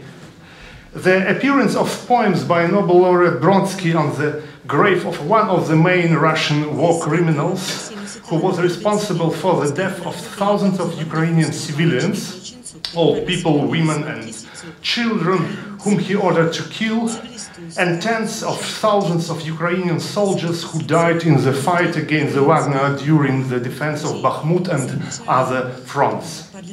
So the appearance of Brodsky's poems on Prigozhin's grave is not an accident. And not only because Prigozhin and Brodsky are from Leningrad and uh, Putin too. Not only. It's him, Brodsky, who wrote in uh, 1974, already abroad, an imperial, an imperial poem for Marshal Zhukov, a patriotic text, which is now being reposted by Russian military channels. It was Brodsky who was reproached in the 80s by Czesław Miłosz for the fact that it's him, Brodsky, who, like no one else, positively aestheticized the word empire, and because we are in Prague, it's not for me to remind you that it was Brodsky who called Milan Kundera Czech cattle, Czechskое быдло, for Kundera's concept of Central Europe, containing a decolonizing critique of Russian imperialism and Russian literature as its bearer. And finally, it was Brodsky who wrote the chauvinist and revisionist poem on the independence of Ukraine in 1992. There is no need to be surprised by all this. Brodsky is not the exception, but a rule, a logical continuation, if not the culmination of a long-standing paradigm, a paradigm of uh, Russian poetic, politic, poetic, political uh, techniques and me, we are enemies. Uh, a paradigm of Russian poetic political behavior in which pseudo-oppositionality is harmoniously combined with imperiality. And in my paper today, I would like to briefly show that Russian literature and the empire are in a beneficial conspiracy, and from the very beginning of both. The emergence and the initial development of Russian secular poetry, which began in the 17th 17th century intensifies after Peter's uh, self-proclamation of uh, Peter the Great, uh, the Great, uh, proclamation of Russia as an empire in 1721. Uh, in the next 300 years, from Elizabethan and Catherine's projects to the peak of, of expansionary politics in the 19th century, through the crisis and recording of the imperial program of Tsarist Russia in the USSR, up to the explicitly neo-imperial agenda of Putin's Russia, imperial discourses will be reproduced, trans and de-reformed, but the very category of imperiality as the dominant feature of Russia remains a constant component of Russian literature in general and poetry in particular. As the philosopher Rozanov said, Russian literature of the 18th century satires, odes, everything and everybody is help for the government, including in the, in the creation of countries' imperial and identity. Peter the Great, Catherine the Great, Great Russia, great literature, uh, Valeria Korablyova was spoken yesterday about this greatness. The rhetoric of empire works with figures and of expansion and greatness, but also with uh, over increase of, the, of the significance on the verge of hyperbole in which, by definition, lies the danger of the comic and the grotesque. At the first stage of the development of Russian literary imperial discourse, patriotic pathos and the poetic philosophy of the imperial sublime should have warned against this danger. In this regard, Ode on the taking of uh, Khotin uh, by Mikhail Lomonosov becomes a paradigm forming ode to the capture during the Russian-Turkish War of the Khotin, Khotin fortress on the territory of uh, today's Ukraine. This ode was and is and is presented in Russian and Soviet schools as the beginning of a new Russian literature. In it, the allegorical geohistorical horizontal of the expanding empire is glorified in it from the height of Odic delight, the rise of which is paralleled with the vertical of political power. Such glorifying inspiration is intended to combine elements of secular and sacred, rhetorical and poetic.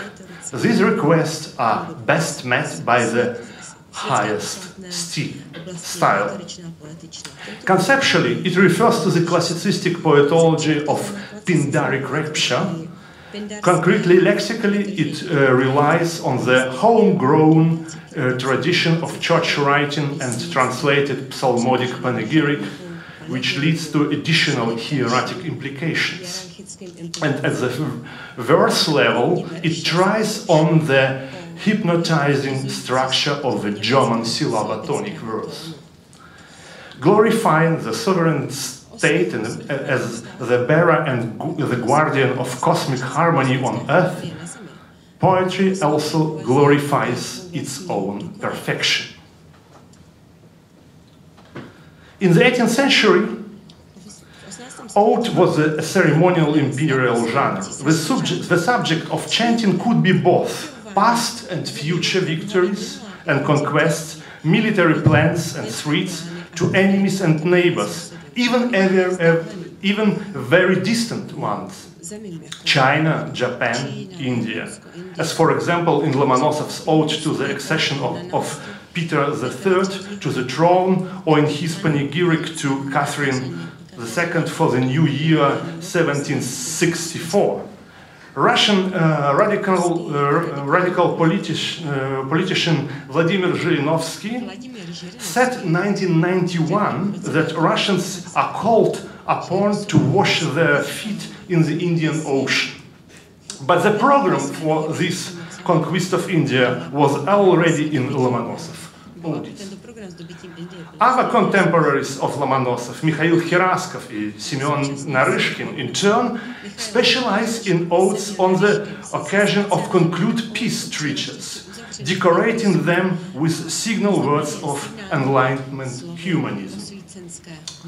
Just as Russian oppositionists, uh, oppositionists today, hiding behind some kind of criticism of the regime, they enjoy the imperiality of Russia.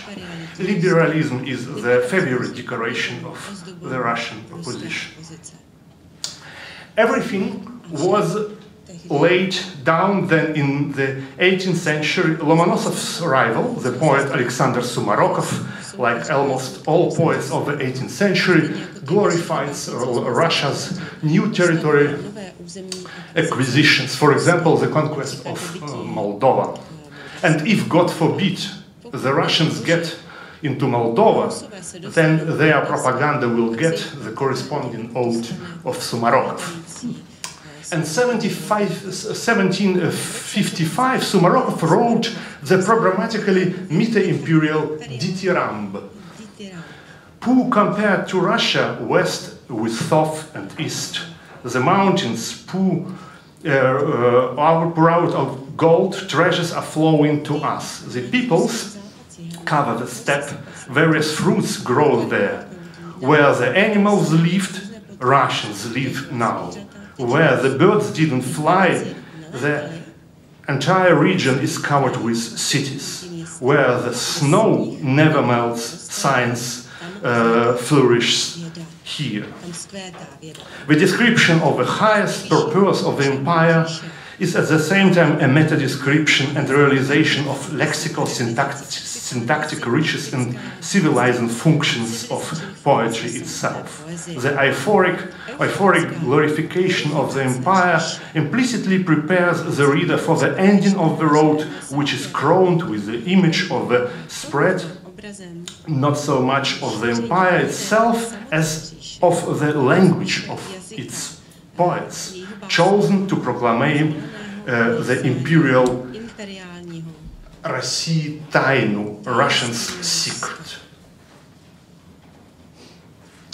If in Lomonosov's and Sumarokov's texts a more or less speculative singer of the empire speaks, then in the odes of another important poet of the 18th century, Gavril Derzhavin, who autobiographized Russian poetry, the implicit author is personalized. From now on, by direct or hidden, serious or playful hints, he finds himself connected with the empirical author. Unlike the Elizabethan era, the task of the poet of Catherine's era is no longer only the literary inauguration of power, but also the poetization of new literary and everyday Uh, relations between the poet and the sovereign ruler. To a great or lesser extent, Derzhavin will, will remain faithful to this ethos of poetic biographi biographical privacy in his poems describing the conquest of Polish lands and praising the suppression of Polish uprisings and in glorifying expansion on the Southern borders as the civilizing mission of the uh, enlightened empress, and in, in summing up his own merits in a paradigmatic памятник, monument, associated with Sumarokov's uh, dithyramb. I cytuję. What of me will pass from white sea to black, where Neva, Volga, Don, and Ural rivers flow, and among the countless peoples all will know how I traveled from obscurity to fame, the first to venture in our Russian tongue to celebrate aloud Catherine's virtues, to speak with warm simplicity of God, and with a smile utter truth to princes. In the in our scientific literature, we uh, often speak about, uh, in the context of in the context of imperiality, we speak about the narrator of empire, and the, uh, in general, and about the narrativity of the imperial. The history of Russian imperial literature also draws attention to something else. Despite all the epicness of imperiality, there is no particular need for a storyteller, a storyteller of uh, empire, but there is a demand for a singer of the empire, a poet in whose mouth the rhetoric of the imperial expanse is allegorically recorded into the rhetoric of imperial time, historical and transcendental eschatologic. In Derzhavin's monument, which refers to Horace, Horatius, the geopoetic panorama of the empire from the white waters to the black waters with its countless peoples turns out to be the time and place, the chronotope of the action and effic effectiveness of the poetic glory of a, and of, of a particular poet, Derzhavin. The empire requires the poetization of its geotemporality, and the poetry, thanks to the empire, expands the circle of its present and more, and more importantly, future potential and providential readers. Every ode to the capture of another fortress or country is directly or indirectly a ode to expanding the space of the audience of Russian literature. This is the pact between poetry and the empire, the Russian poetry and the Russian empire, certified by Derzhavin's monument, and which 30 years later would be renewed in the poem of the same name monument, uh, monument uh, pamятник by another poet of the empire, Alexander Pushkin. I shall be noised abroad through all great Russia. Here innumerable tongues shall speak my name, the tongue of the Slav's proud grandson, the Finn, and now the wild Tungus and Kalmyk, the steppes' friend.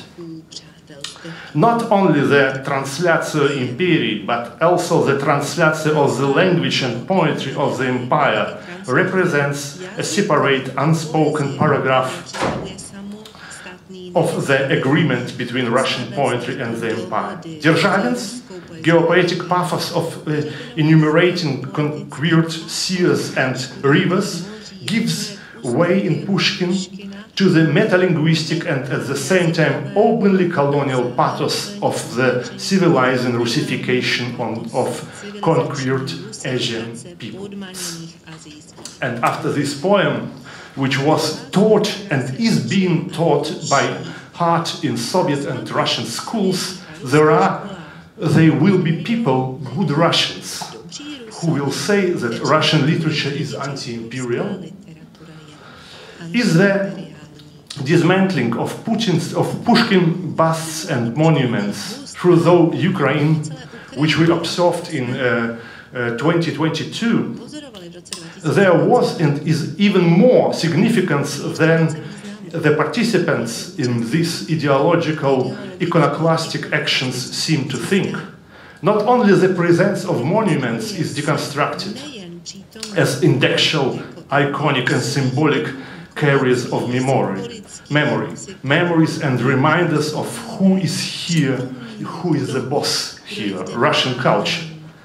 The seemingly innocent poetic genre of monument itself was indirectly deconstructed within the framework of which Derzhavin and Pushkin in Ukraine, once again looking back at what they had done poetically and politically, certified the agreement between the empire and literature.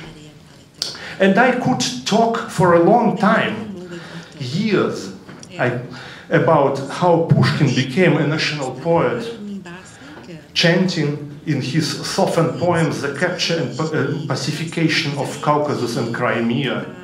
And now, and after that, having already become a national poet who was personally censored by Tsar Nicholas, he wrote poems about the capture of Warsaw, chanting its cruelty.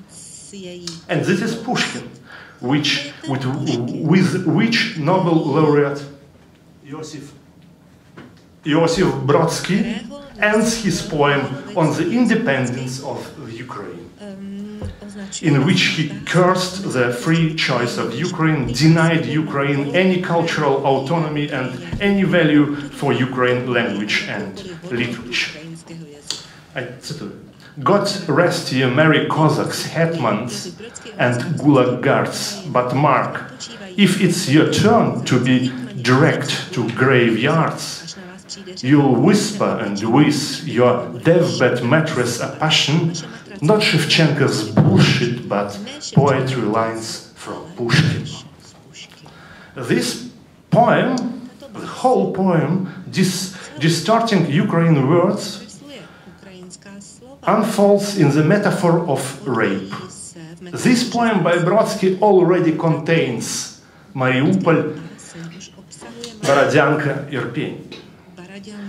Are there exceptions in Russian culture and literature? Of course, Boris Nemtsov, or we are in Prague, Natalia Gorbanevskaya, or for example, Alexander, uh, very rare uh, exceptions.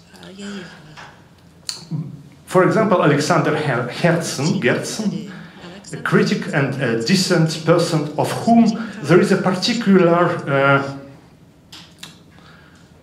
shortage uh, in Russia. He called such poems in connection with the suppression of the uprising in uh, 1863 on the Polish, Lithuanian, Belarusian lands very caustically, like as a manifestation of patriotic syphilis, which, according to the to he, to his observation and conclusions, covered all layers of Russian uh.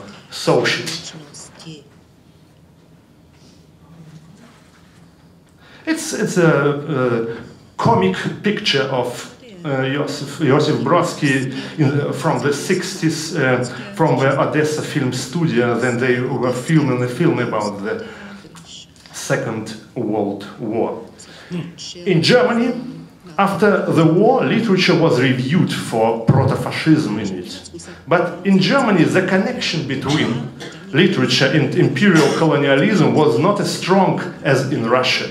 In the Russian Reich, literature is not just a mediator, but also its generator. Therefore, to the question where, where the Russian literature and together with it Russian society, even in the event of a complete victory of, for Ukraine, will be able to deconstruct these patterns and paradigms. I do not dare to say. Now it seems that the Russian imperial patriotic syphilis is incurable. Thank you.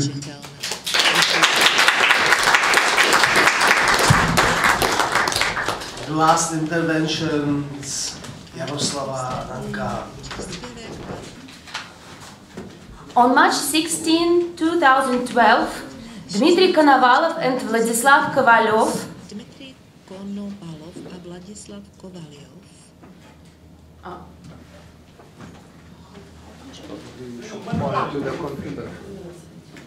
Ah, okay, yes. So, on March 16, 2012, Dmitry Konovalov and Vladislav Kovalyov, accused of the terrorist bombing in Minsk metro, were shot.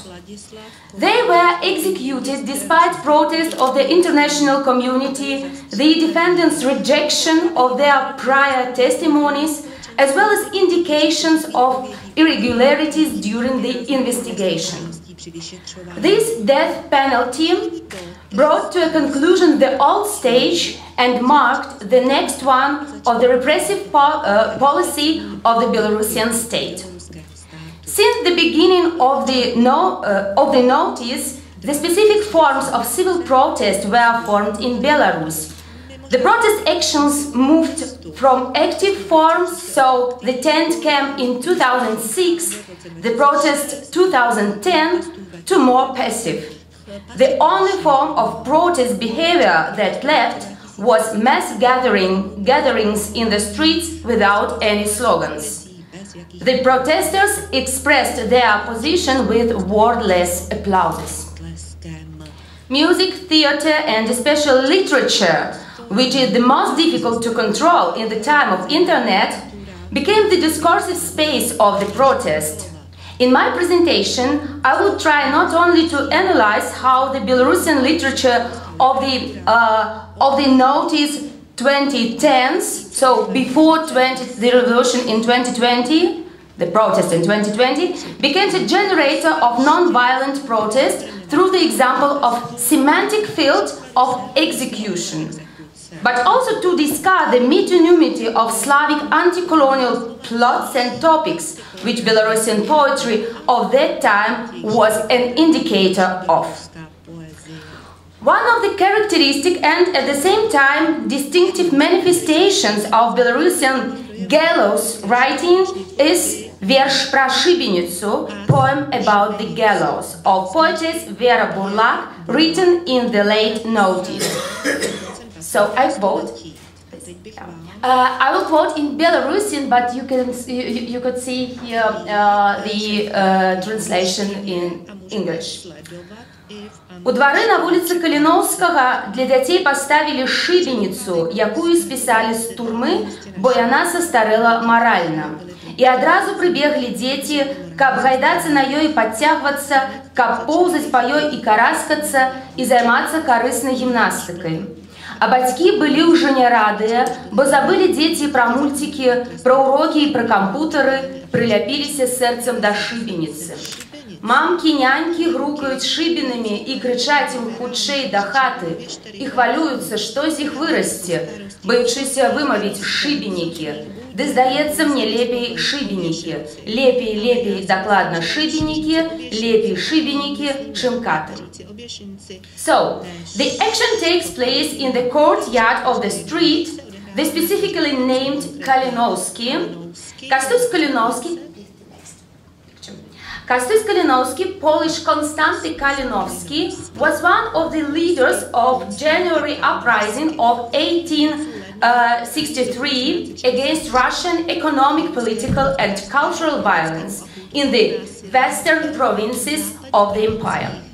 After the defeat of the uprising and mass repressions, Kalinowski was executed by hanging by General Muravyov, nicknamed Muravyov hangman for his cruelty.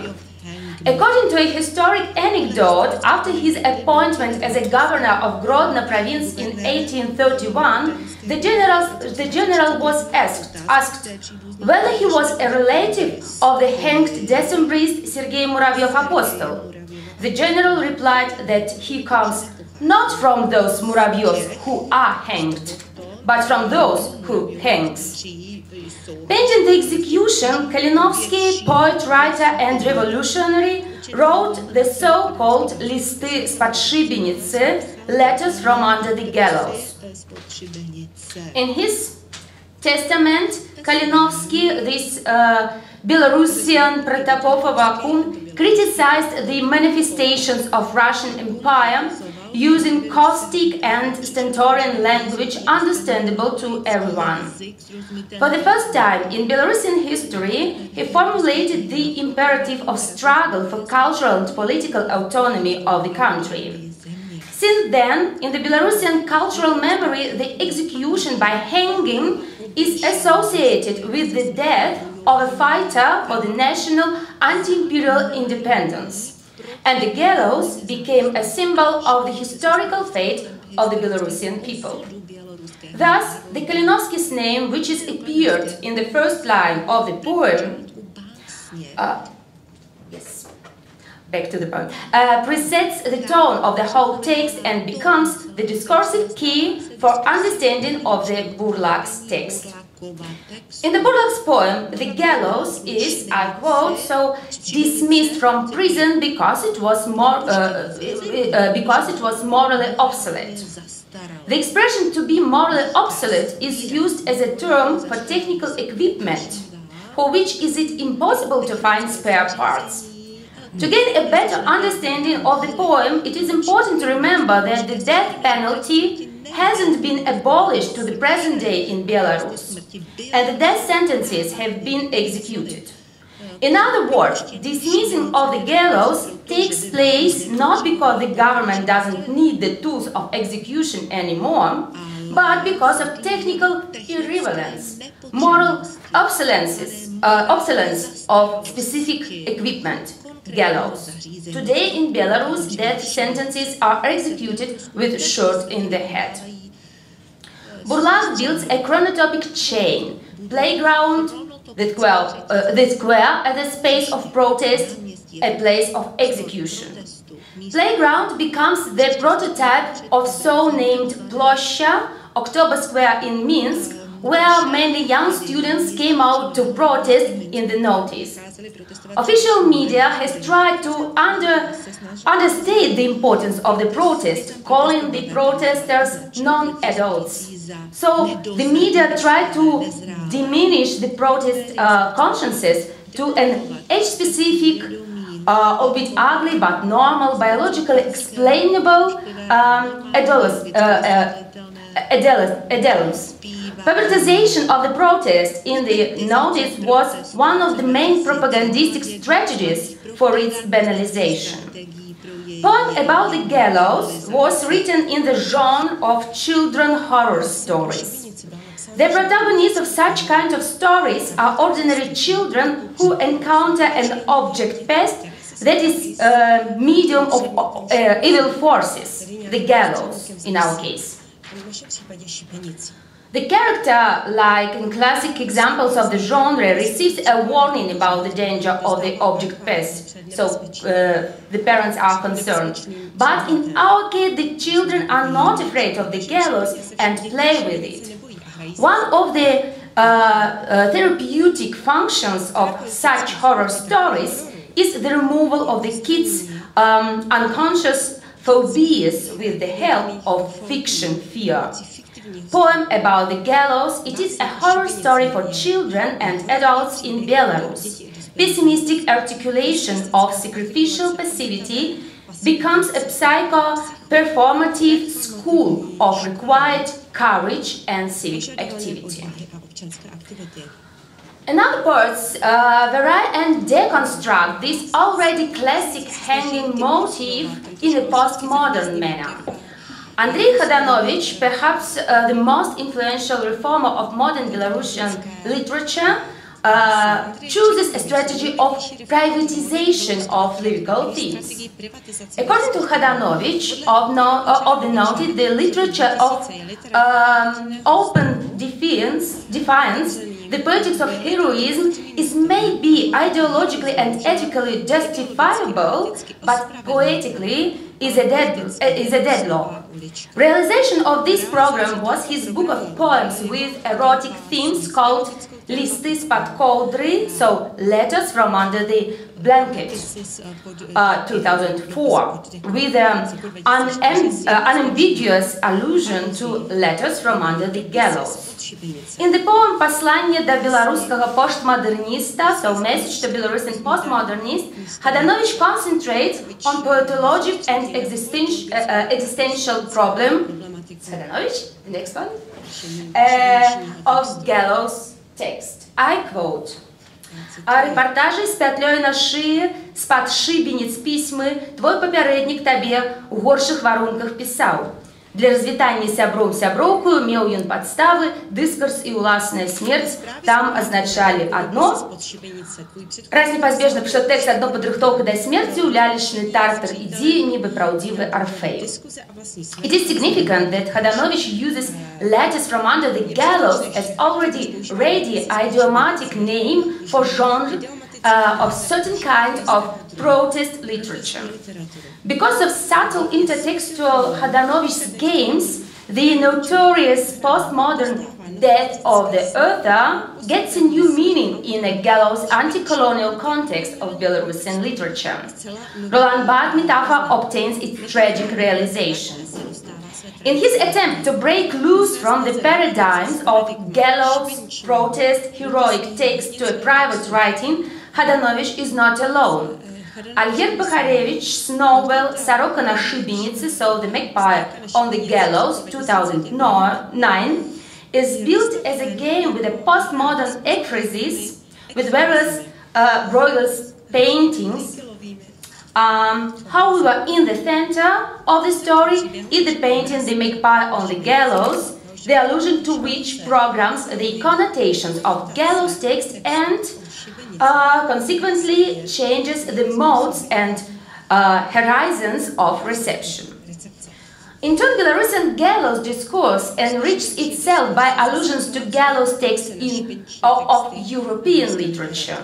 So the Burlak's poem, in which the mother um, habituates uh, his, child, his chi her child to future execution on the gallows, follows the paradigm that was set by Adam Mickiewicz's poem Do Matki Polki. I quote, um, Zwyciężonemu zapomni grobowy zostaną sucha drew, drewna szubienicy. Za całą sławę krótki płacz kobiecy i długie nocne rodaków rozmowy. For the intertextuality of this text speaks not only the similarity of subject uh, didactic situation, but also the Mickiewicz's status in Belarus, where he is perceived as Belarusian own, own poet, a single Belarusian independence who wrote in Polish. Burlak's poem about the gallows gets, gets to the discursive subject field uh, mortgaged by Mickiewicz even if it is not the in, uh, intentional intertextual hyperlink, it is direct hit on anti-imperial target that is characteristic for Belarusian literature. Mickiewicz text was written in 1830 during the situation of the identification crisis of Poland after Russian repressions in the 1820s. It marked a new stage of Polish ethical and aesthetic culture of resignation and resistance. By her reference to Mickiewicz, Burlak makes parallel the situation in Belarus in the 90s uh, and in Poland on the eve of the 1830 uprising. Poetic analysis uh, of resignation becomes a, perlocu uh, a perlocutionary propaganda, a description of uh, defeatist passivity and desperate indifference, and uh, becomes an um, intertextually motivated appeal to uh, civic activity. An important intertext of Gallo's writing is uh, reportage Psana na Opratse, so reports written under the news by Julius Fučík, another hanged slave. In reality, of course, he was executed uh, by guillotine. The reference to the text and the literary situation which is simulated by this title are found repeatedly in the text of Belarusian authors, and often, as in Khadanovich's text, was in Khadanovich's text, Fučík's reports written under the news is coupled with letters from under the gallows. Here is another typical example. Uh, so I quote uh, from a poem of uh, Jens Bażyna. from under the gallows, even the letters to the people were written, the news on the neck itself inspired the reporting. Moreover, the, uh, the authors use both the cult from Russian Soviet translation of, Yulu, book *Reportage uh, of, of Fučík's and the cult from Polish translation *Reportage z шубеницы» for the title of Fučík's books, book. Polish subtext of Belarusian Gelo's text is difficult to overemphasize. The title Listy spod Shubienicy, Zapiski spod Shubienicy, was given first for Kalinowski's letters by the Polish researcher and publisher of Kalinowski's text, Agaton Giller. Gallows' uh, chronotope becomes intertextual place of anti-colonial solidarity in the discourses of resistance in Belarus and Poland.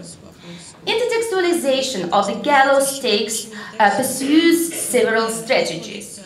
On the one hand, it falls into the paradigm of authoritative texts of world literature.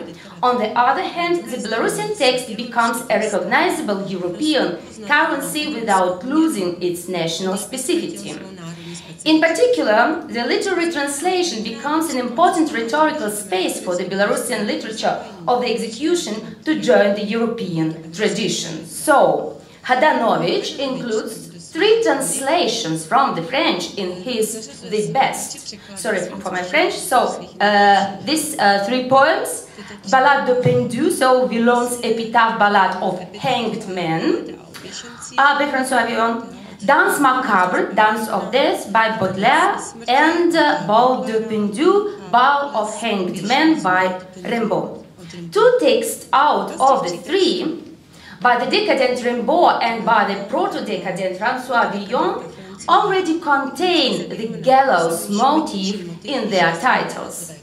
Sentenced to the gallows, François Villon wrote Ballade de Pendu in, in prison while waiting for execution.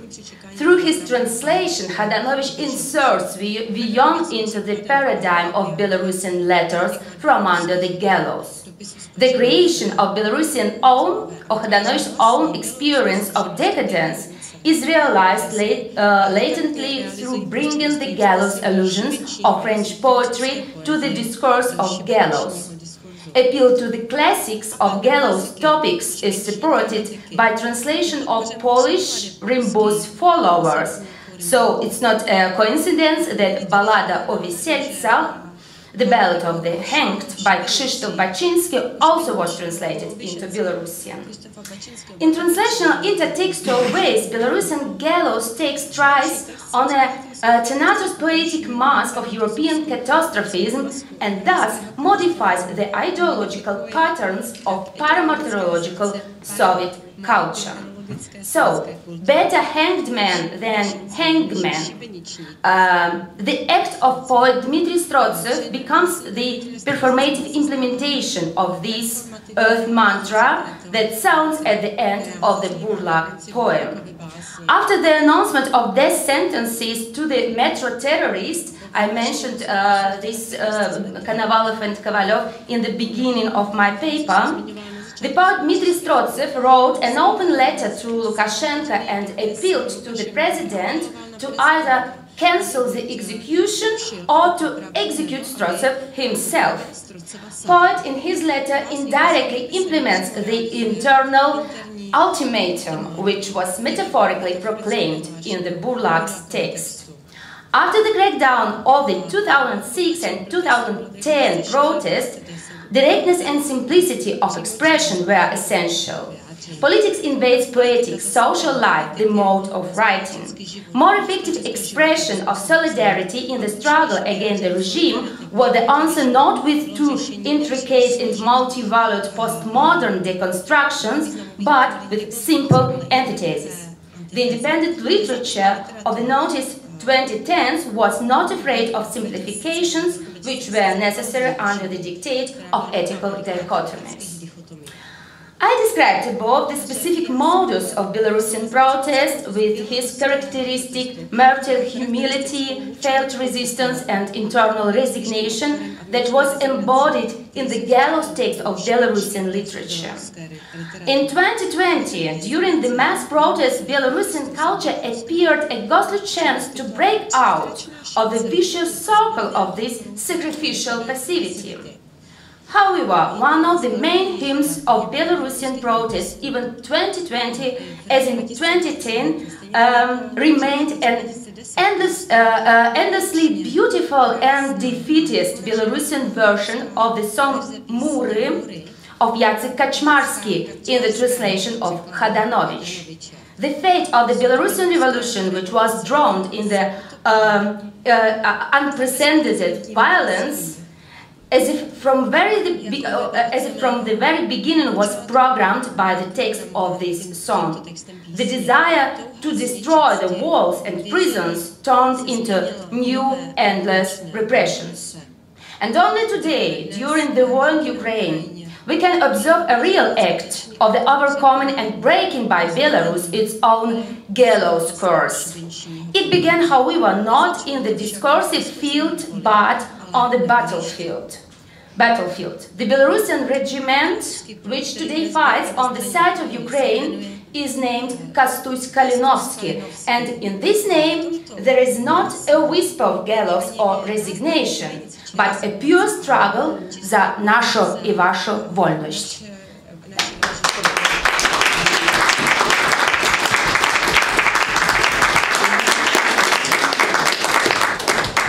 Děkuji vám všem za účast. Eh, zvojme vás ještě jednou do toho Vinohradského pivovaru. Thank you very much for attention. We invite you to the Vinohrad Brewery to join with us the, the party. Thank you. See you tomorrow.